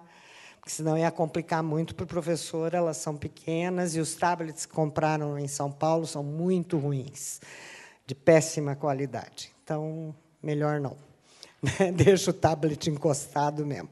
Compraram de nego que não é fabricante é, editora, que não é fabricante de tablet, então foi lá um Android super porcaria que não funciona, os professores encostaram. Então, mas não precisa. Eu acho que uma coisa desse tipo poderia até ser mal feita, mas poderia até ser feita só com o professor e seu computador e o data show. Mal feita, porque aí o menino não tem a chance de ele manejar, né? Mas é, pouco investimento é, não é coisa cara, gente. Não é coisa cara. Cinco computador por turma. Enfim, eu sou sempre esperançosa. Né? Mostrei o primeiro ano porque aqui é alfabetização. Alguns ficaram bem legais, alguns ficaram muito mais para o lado da tecnologia, outros mais para o lado do impresso e do escrito. Né? O lugar que ficou mais conservador, isso é uma coisa que eu quero pensar, porque como não era eu que estava fazendo, eu falava, ai, gente, vamos variar, vamos fazer uma coisa mais diferente, misturar com canção, bota um funk aí e tal, né, no quinto ano. Literatura. Super conservadores os produtos. Conto de fada dos clássicos, lendo, o máximo que eu consegui Amolando meus alunos, foi lenda urbana. Aí a secretaria barrou. O homem do saco é pornográfico, segundo a secretaria. Falei, mas não é esse saco, o do homem. É outro saco, não é esse que você está pensando. Mas, enfim, literatura parece ser um lugar onde eu não posso mexer mesmo, não posso brincar com ela. Né? Aqui nos poemas ainda deu, mas é, no, no, no texto não poético, né, narrativo, ficou super conservador. Quando não ficou, a secretaria reclamou e devolveu. Ciências é o lugar mais fácil, é o que dá para brincar, né? Com mais e essas coisas a esfera cotidiana também, a cozinha, os jogos, as brincadeiras e tal. Agora, a literatura foi osso. Isso é uma das coisas que eu quero pensar. Por que quando chega perto do cânone tudo fica tão difícil, né? Misturar com a canção, então. Enfim, eu sei que eu não vim trazer, e eu passei já 11 minutos, mas acabou. É, não vim trazer uh, blá blá blá teórico, eu vim trazer uma preocupação prática, né? Vocês viram que eu reduzi aí a teoria ao mínimo, é, mas para viabilizar uma ideia desse tipo, que eu sei que não é para já, para equipar, pá, pá, pá, mas também eu espero que não seja para o próximo século, né? É, se for assim, em 2020 e pouco, já está bom. 2025, né? Você não acha, Hércules? Também não vou querer para amanhã, né? Mas tá bom? Obrigada, gente, pela atenção.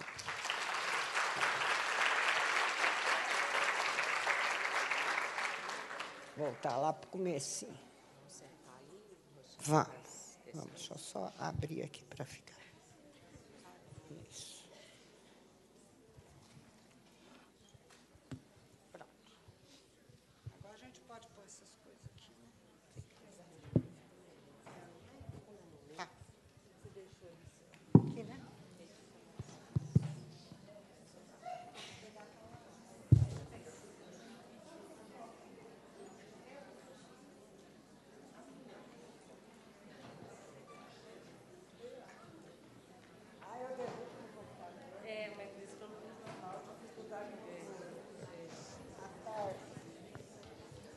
Bom, gente, agradeço muito a Roxane pela palestra, bem interessante.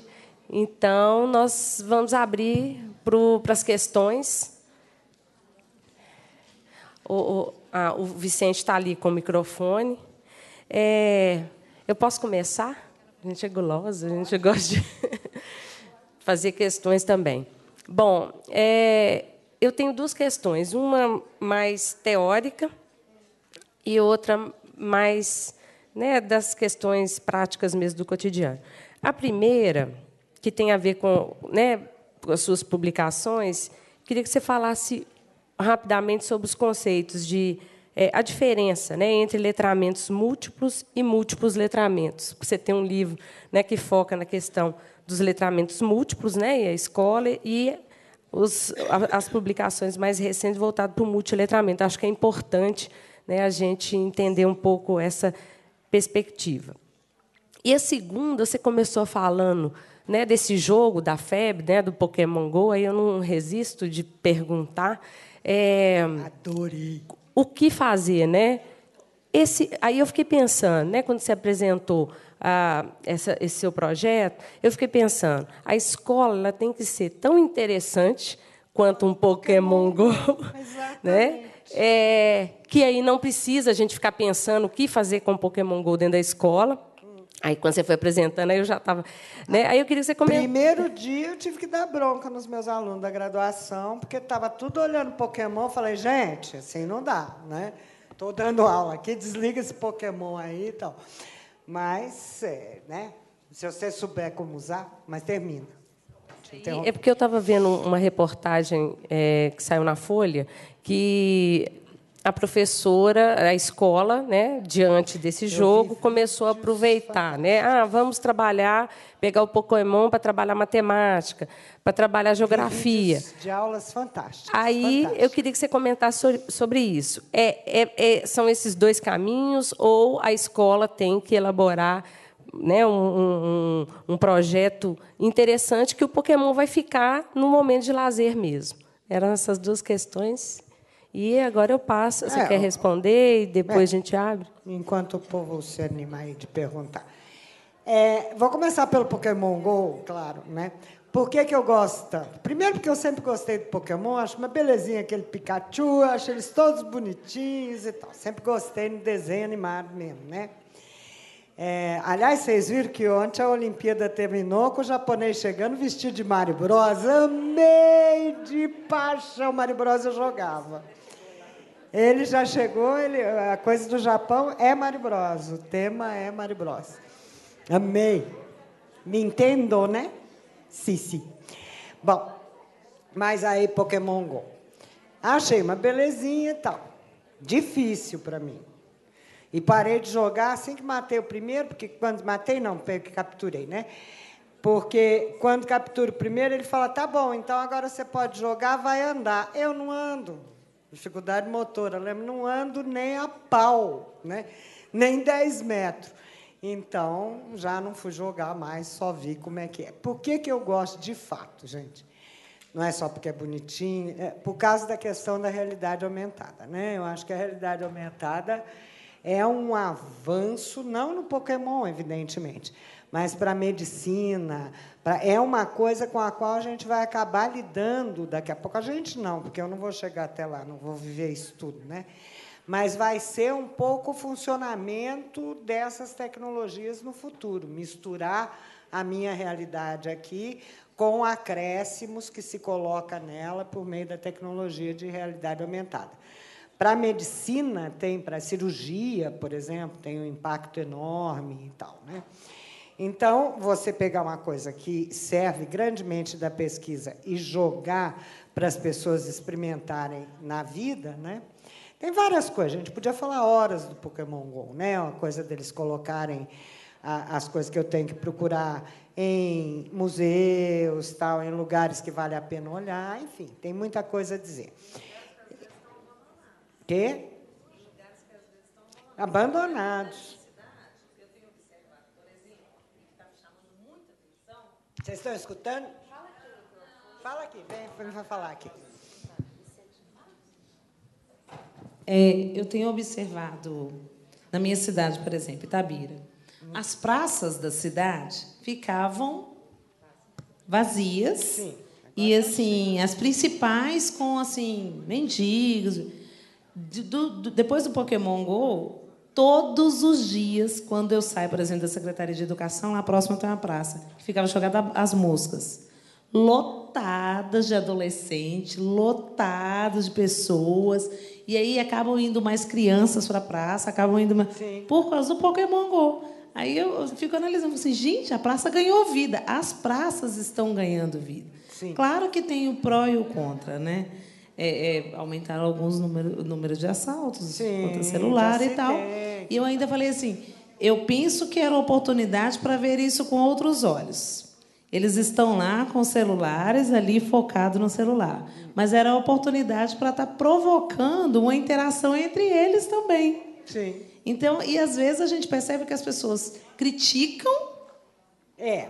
Ao invés de aproveitar é perigoso, a oportunidade. Vai ser atropelado. Exatamente. Vai roubar, Poxa, estava na hora de fazer esse movimento. Sim. Né? São Paulo está começando uma discussão engraçadíssima que é o seguinte: a Nintendo, não é Nintendo, é outro fabricante de Pokémon não botou Pokémon em zona pobre, periferia, tal, não tem Pokémon.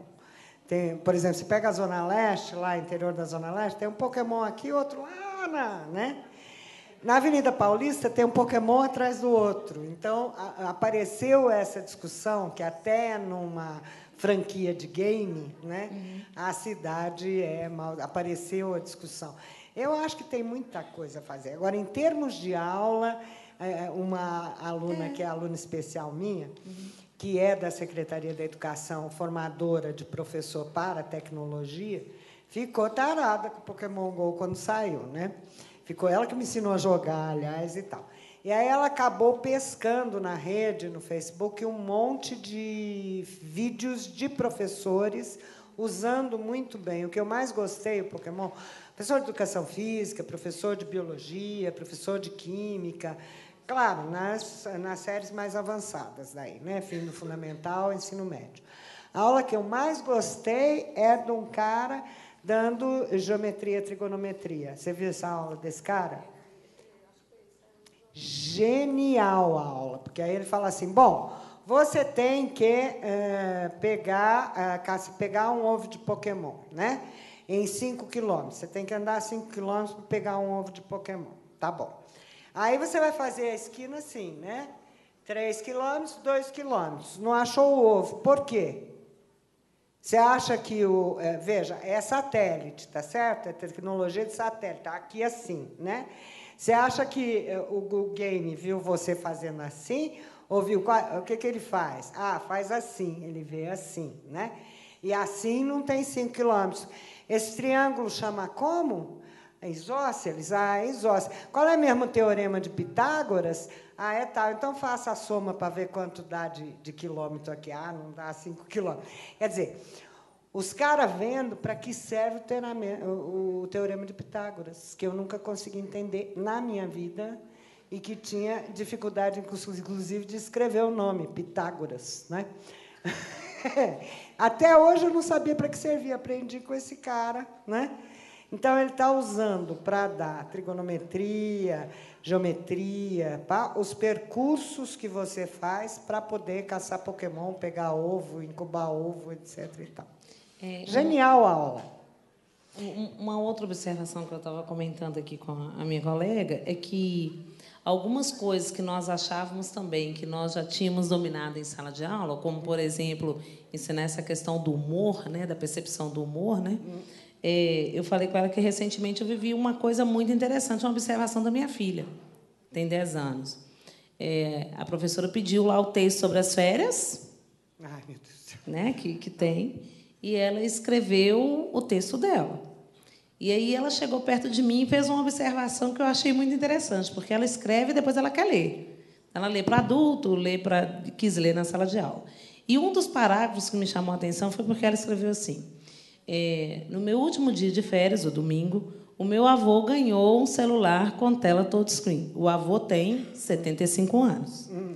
Aí ela escreveu assim: foi muito legal, porque o vovô quer entrar agora no Facebook e usar o WhatsApp. Mas ele, as palavras dela foram assim, mas ele continua achando que Facebook é um joguinho. Porque quando eu baixei para ele, ele falou que eu estava baixando joguinhos. Aí ela escreveu assim: o mais legal de tudo é que ele fica tocando na tela do celular, ela escreveu isso, com a ponta da unha. E fica igualzinho o vovô Drac do Hotel Transilvânia. E fica falando que o celular está com defeito. E eu morro de rir. Não Aí, sabe o gesto. É, exatamente. Então ela fez um. Né, aí depois ela chegou perto de mim e falou assim: Ô mãe, quando eu li o meu texto dentro da sala de aula, que eu cheguei nessa parte do meu avô, a minha sala inteira caiu na gargalhada. É. Mas é engraçado que quando eu leio para o adulto, nem sempre ele ri. Hum. Eu pensei, poxa, matou a coisa. Uhum, uhum. O adulto que não tem a habilidade Exatamente. e não trabalha, não, não tem sentido nenhum. Assim, danadinho, já fez a percepção já de que há universos desconhecidos aí que eles estão bem à frente. E Esse achei isso fantástico. Do, do gesto não é pouco importante. Eu, por exemplo, tenho uma dificuldade imensa nesses gestos de tela de toque. Né? Para digitar, para mim é difícil, eu digito com o dedo assim. Imagina que eu consigo fazer aquele negócio com o polegar, que mas nem, né? Agora, isso tem a ver com o que o Chartier chamava de os protocolos, né? De, de você, o fato de você abrir, o, ocupar as duas mãos para abrir o papiro, te impedia de anotar na margem, por isso que é só o livro que vai. O Chartier faz longamente essa discussão. Só o livro que vai permitir que eu escreva na margem, que eu seja leitor e produtor ao mesmo tempo. O, o, o papiro não permitia, porque eu tinha que usar as duas mãos. Quando eu posso usar o dedo e os, as crianças, aquela bebezinha da, né, um ano, o que, que é isso? Vygotsky já dizia isso, né? O primeiro gesto significativo, a primeira coisa mais fácil é o gesto de apontar. Isso aqui é um gesto de apontar o tempo todo, né? Que é intuitivo na criança, que é mesmo o primeiro gesto da criança, né? E que eles vão desenvolvendo desde muito pequenos. Hoje em dia eu vejo minha, minha netinha de seis anos o de 10, colorindo coisas e livrinhos, né? Uh, dentro da, da, da, linha lá na, na, no, no, tablet, que eu não conseguiria fazer. Tanto é que eles fizeram agora os livros de colorir para adulto, você só faz assim já colore inteiro, né? Porque a gente não consegue ficar na linha que nem as crianças fazem com facilidade, né? Então, é a história dos protocolos. Né? Mas aí, saindo um pouco do Pokémon GO, não acho que é qualquer game, mas há games, né? Pokémon GO, por exemplo, por causa da realidade aumentada, tem um game, aí já estou falando para ensino médio, né? que chama Democracy, mas que teve, é, acho que chama Senadinho, alguma coisa assim, no Brasil, adaptações mais simples, que é para entender como é que funciona uma sociedade do ponto de vista da sua infraestrutura política, quem faz o quê e tal, que é um jogo extremamente interessante. Tem um joguinho, eu não sei o nome dele, mas se você jogar McDonald's Game, ele é o primeiro que vem na lista do Google, né? que é um joguinho desses bem situados, que é assim, você vai ter uma franquia do McDonald's, e você, a única coisa que não pode acontecer com você, é, você morre, é uh, você não ter dinheiro suficiente dentro do que eles consideram suficiente para manter a franquia. Para ter dinheiro, você tem que fazer coisas horrorosas. Criar animais em, em situações cruéis, é, devastar a, a terra é, com agriculturas de, que, que matam a terra para criar vaca, é, explorar os seus funcionários, pagar pouco para eles, você tem que botar gororoba no hambúrguer é, para fazer render mais e tal. Né? E aí, é, se você não faz, se você tenta ser politicamente correto, você morre no jogo rapidinho. Né? E aí a moral da história no jogo no final é fazer a catilinária, né? Mas você viu que para você se manter. Não sei como é que o McDonald's não tirou esse negócio do ar. Mas é, obviamente, um jogo que dá para explorar, para ensinar um monte de coisa. Quer dizer, não é todo um tiro em primeira pessoa, ficar matando todo mundo ali, pá, pá, pá, não tem a menor graça. Né? Mas outros, sim, né? que tem muita gente que defende o uso de jogo de game como forma de aprendizado. Outros, produção de game. Outros, gamificação de conteúdo da escola. Né? Mas, indo para a sua pergunta, que não é tão pouco importante também, a primeira, é, esse Letramentos Múltiplos Escola e Inclusão Social é de 2009, e eu estou falando ainda dos letramentos da letra e do impresso. Né? E o multiletramento já é de 2012, ou seja, três, quatro anos depois, né? É, pensando essa questão. 2009, o povo lá de Nova Londres estava publicando a esse respeito. Tudo demora uns três, quatro anos para bater aqui. Né? É, até falando dessa questão aí mesmo das novas tecnologias e das múltiplas linguagens.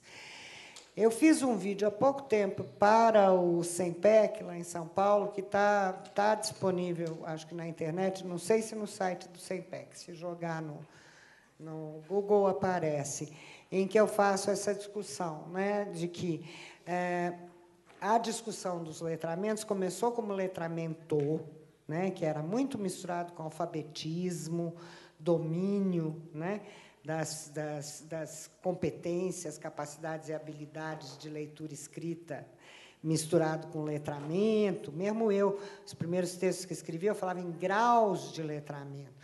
Grau só posso mensurar se eu estiver dentro de uma lógica de alfabetismo. Né? Essa capacidade é mais complexa que aquela, que aquela outra e tal. Depois começou a Ângela muito a trazer as coisas do street né, para o, o Brasil, a partir de 85, né, é, onde se insistia muito que letramento era prática social né, e não exatamente capacidade, competência habilidade. Claro que na prática social eu vou desenvolver procedimentos, capacidade, mas não era esse o foco. Aí eu paro de falar em letramento e começo a falar em letramentos. Né? Por quê? Porque prática é qualquer uma, inclusive a prática de analfabeto tomar ônibus olhando o formato do letreiro, do tunico analfabeto olhando o formato da palavra, né? leitura incidental. Tá, também é, é prática de letramento. Né? E aí o que o Street insistia muito era que é, essas práticas são legiões. Né? Então, primeiro se falou, são muito variadas, de cultura para cultura, de comunidade para comunidade, de pessoa para pessoa. Tal. Então, primeiro se falou em letramentos, depois em, em tipos de letramento, em vez de, de graus, né? Depois em práticas de letramentos, né? práticas de letramento, é, e depois, logo em seguida, em letramento múltiplo, múltiplos tipos de letramento para falar dos letramentos, porque a pesquisa é muito etnográfica, né, nessa linha do, do street, da, da, nos novos estudos do letramento. Né? É, então, se eu vou ver uma comunidade, sei lá, de sem terra, né, como é que lida com as práticas letradas, uma comunidade religiosa, uma comunidade, enfim, eu vou ter muita variedade mesmo de práticas. Né? Então, se começou a falar em letramentos múltiplos, no sentido de não encarar só os valorizados como válidos. Né? A, a Hamilton falando de letramentos vernaculares, esses mais populares, de como é que o povo usa. Né? Por exemplo, o WhatsApp, a quantidade de emoticons, né? que um vai fazer, o outro não e tal. É, nessa época aí, dos letramentos múltiplos, esse povo de Nova Londres lá estava discutindo esses australianos, americanos e ingleses, que a gente chama Grupo de Nova Londres, estava discutindo desde 96 esse negócio que o mundo estava mudando muito. E eu entendo muito bem porque que eles estavam tão assustados, porque eu estava lá em 96, que é o ano que começa a Europa unificada. E a invasão, que agora se intensificou ainda mais com a história dos refugiados de guerra, né? É, da Europa, né? É, por povos esquisitos como nós, né? brasileiros, africanos, orientais, talibãs e aquelas coisas todas eles estavam muito assustados, muito assustados, porque quando consegue visto pode frequentar a escola pública. Eu me lembro que nessa época a Glaís veio para o Brasil. A Glaís é uma aluna minha que ficou trabalhando lá em Genebra depois que estudou lá.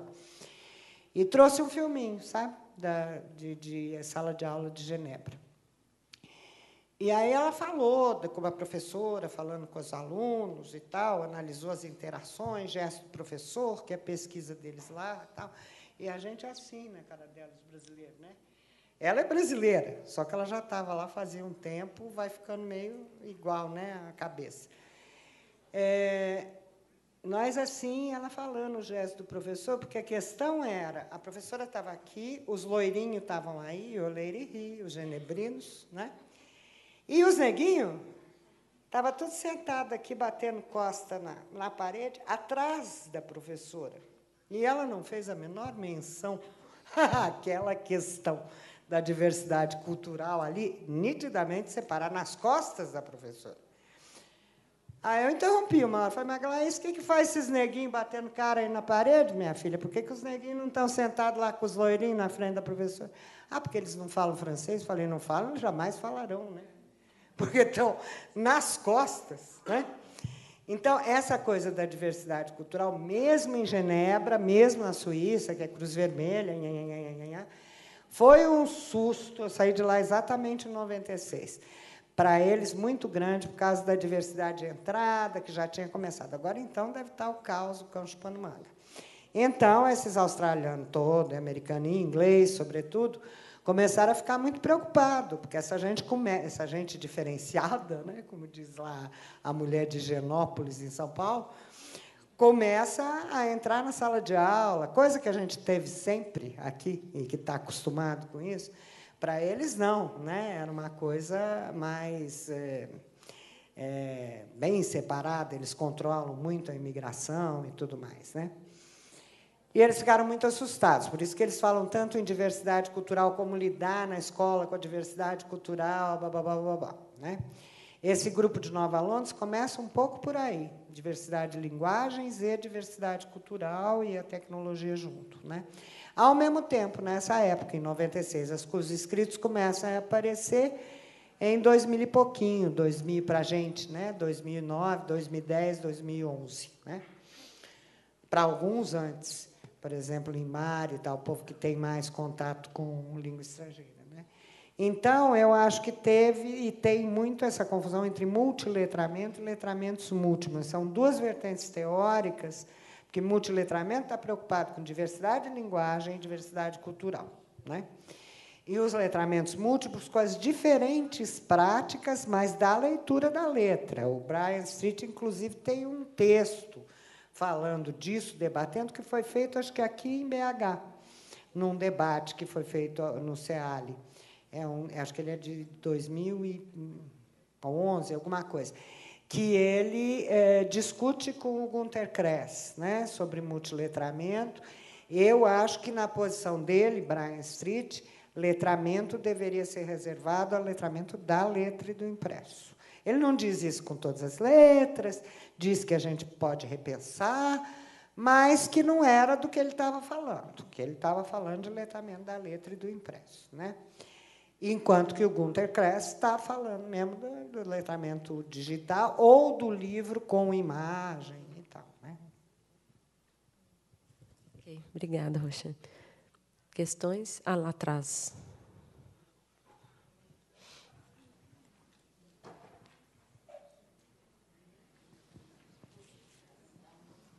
Boa noite. É, é, até aproveitando um pouco o caso que a moça ali na frente, perdão, que eu não vi o nome, contou, eu queria saber se tem pensado alguma coisa nessa questão de utilizar novas tecnologias para a educação de jovens e adultos, porque eu imagino que é bem diferente, né? A gente pensa muito em tecnologia, na questão da juventude, assim, associação mais imediata, mas eu acho que no Brasil a gente ainda tem muita realidade da EJA. Então, eu queria que você pudesse falar um pouquinho sobre isso. Obrigada.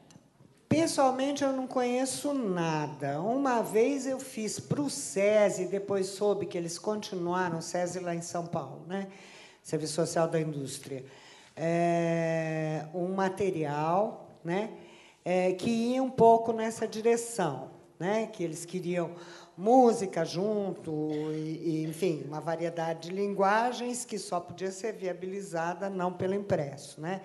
Mas não era porque era para entrar a tecnologia, era porque eles achavam que outras linguagens podiam ajudar o programa de EJA do Serviço Social da Indústria. Agora, SESI, Serviço Social da Indústria, urbano. Então, eu acho que tem que fazer um pouco esse recorte do EJA urbano, do EJA mais rural, dos, dos diferentes letramentos, justamente. Né? Porque eu acho assim, num, num programa de EJA, numa capital como São Paulo, até como BH, é uma coisa, né?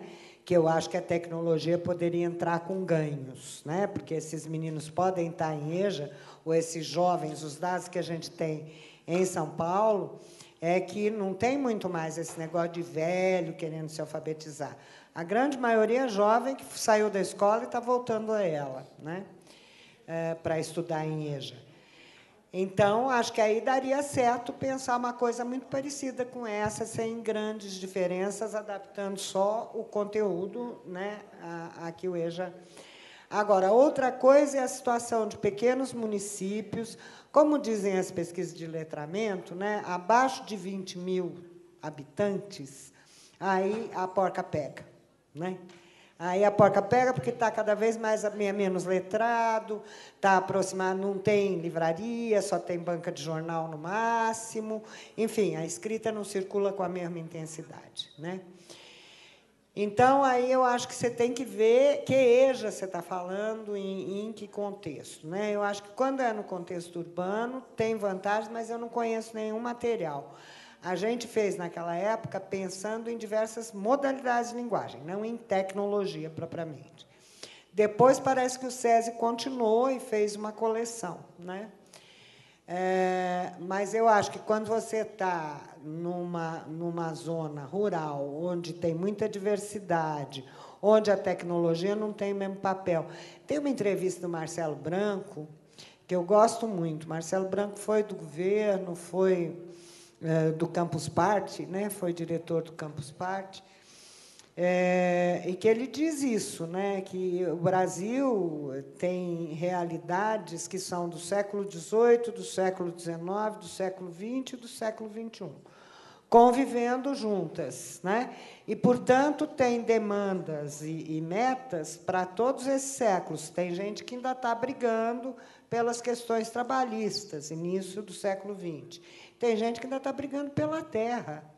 Idade Média até modernidade, né? Está brigando pela terra desde a Idade Média, né? É, e tem gente que está, né? E aí eu acho que isso tem que ser pensado um pouco assim. Eu não sei que se essa proposta que eu estou fazendo para São Paulo, zona de risco, em favela, tal, seria a mesma numa pequena cidade do interior, entendeu? Mais isolada e tal. Não sei. Porque, ao mesmo tempo, a globalização e a mídia de massa penetra tudo. Todo mundo viu a Olimpíada. O celular também penetra tudo. Então, acho que a gente precisa pensar que escola né, a gente está. Mas acho que adulto mais facilmente ainda, se não for aquele adulto mais velho e tal, se for jovem. Né? Mas não conheço ninguém trabalhando com isso. Gente, mais uma questão dá tempo. Mais alguém? Isabel? Duas, três. Ele levantou duas.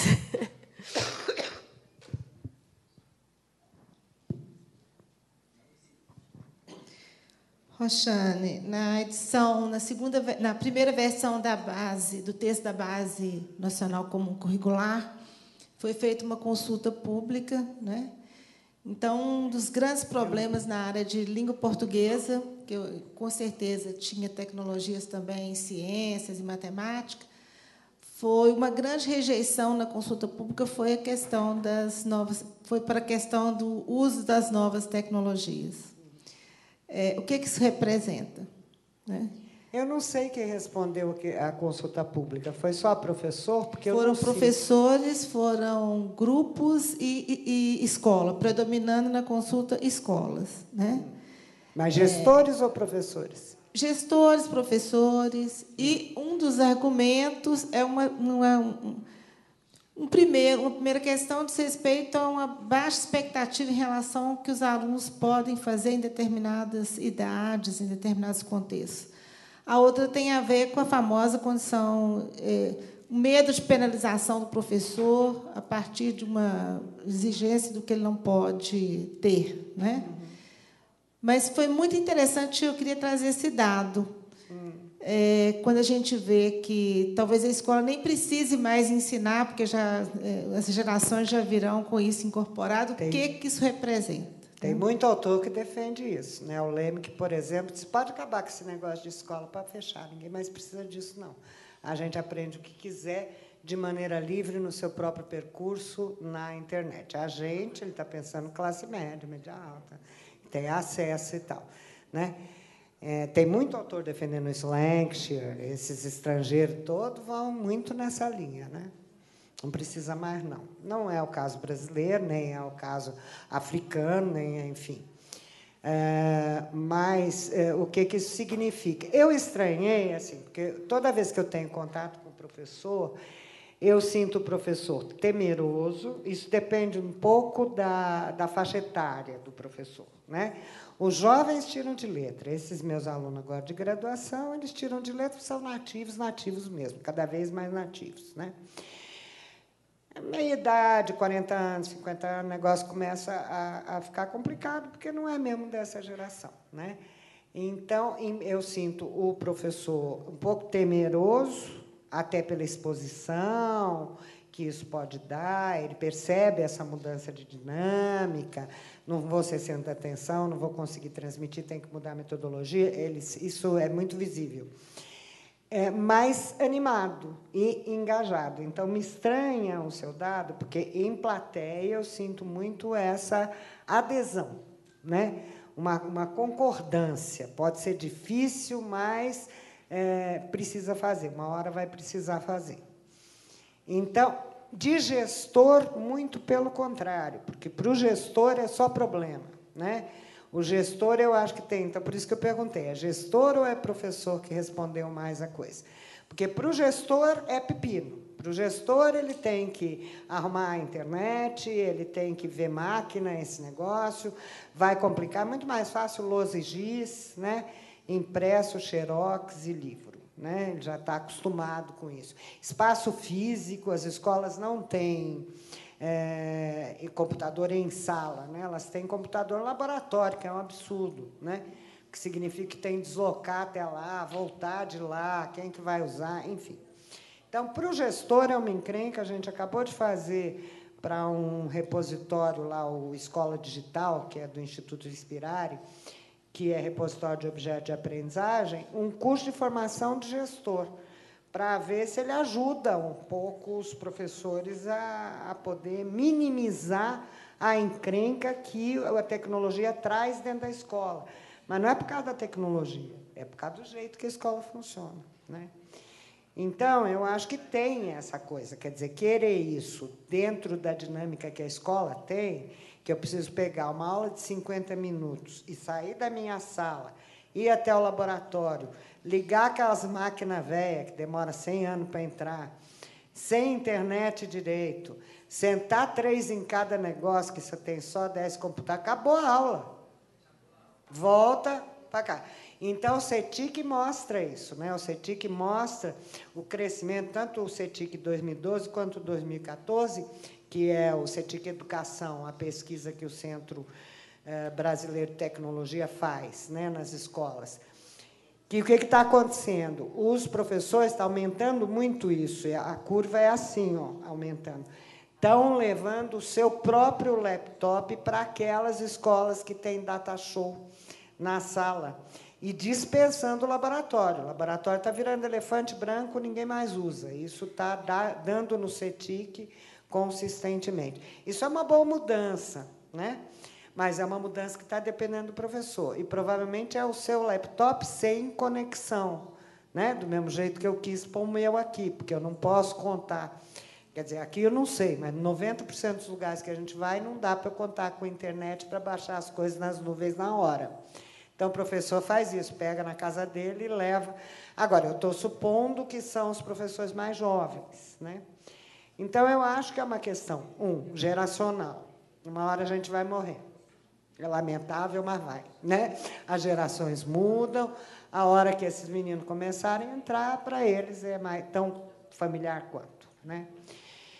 Segundo, é uma questão de infraestrutura mesmo das escolas. Né? As experiências que melhoraram, por exemplo, aquela escola do Rio, que é na favela da Rocinha, uma escola que chama Gente, foi uma experiência bem legal também. Agora, ficou um tempo, depois também fechou, porque tem, um, tem que ter um investimento do poder público, coisa que agora a gente tem cada vez menos. Está né? Tá acabando, pouco que está diminuindo.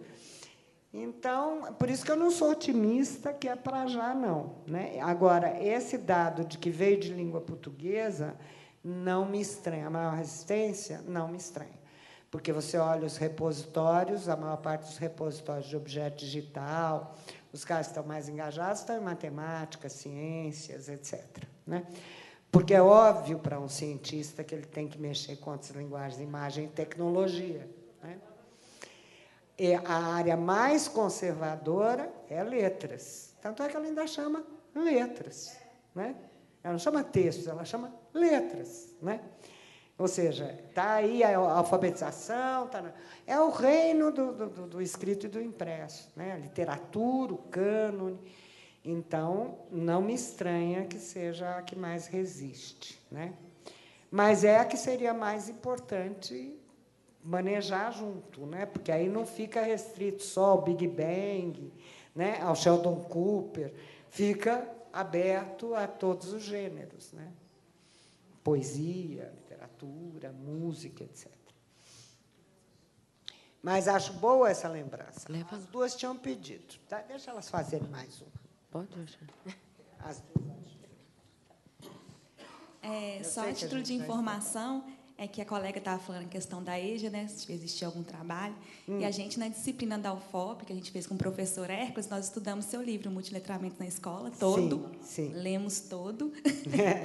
Cada um teve que apresentar um protótipo do livro e no hum. final da disciplina a gente teve que construir um protótipo. Hum. E aí, ah, que legal. É, aí eu construí um da EJA, a Cleide ah, da Educação Infantil, E, assim, tem um registro, só que a gente não publicou ainda, não teve oportunidade, né, professor? É um plano, ah, né? publica, gente. Nós vamos publicar. materiais ajudam muito os é, professores, é, né? E foi muito bacana poder fazer, e eu acho que é uma coisa muito viável, porém a resistência ainda é muito grande, né?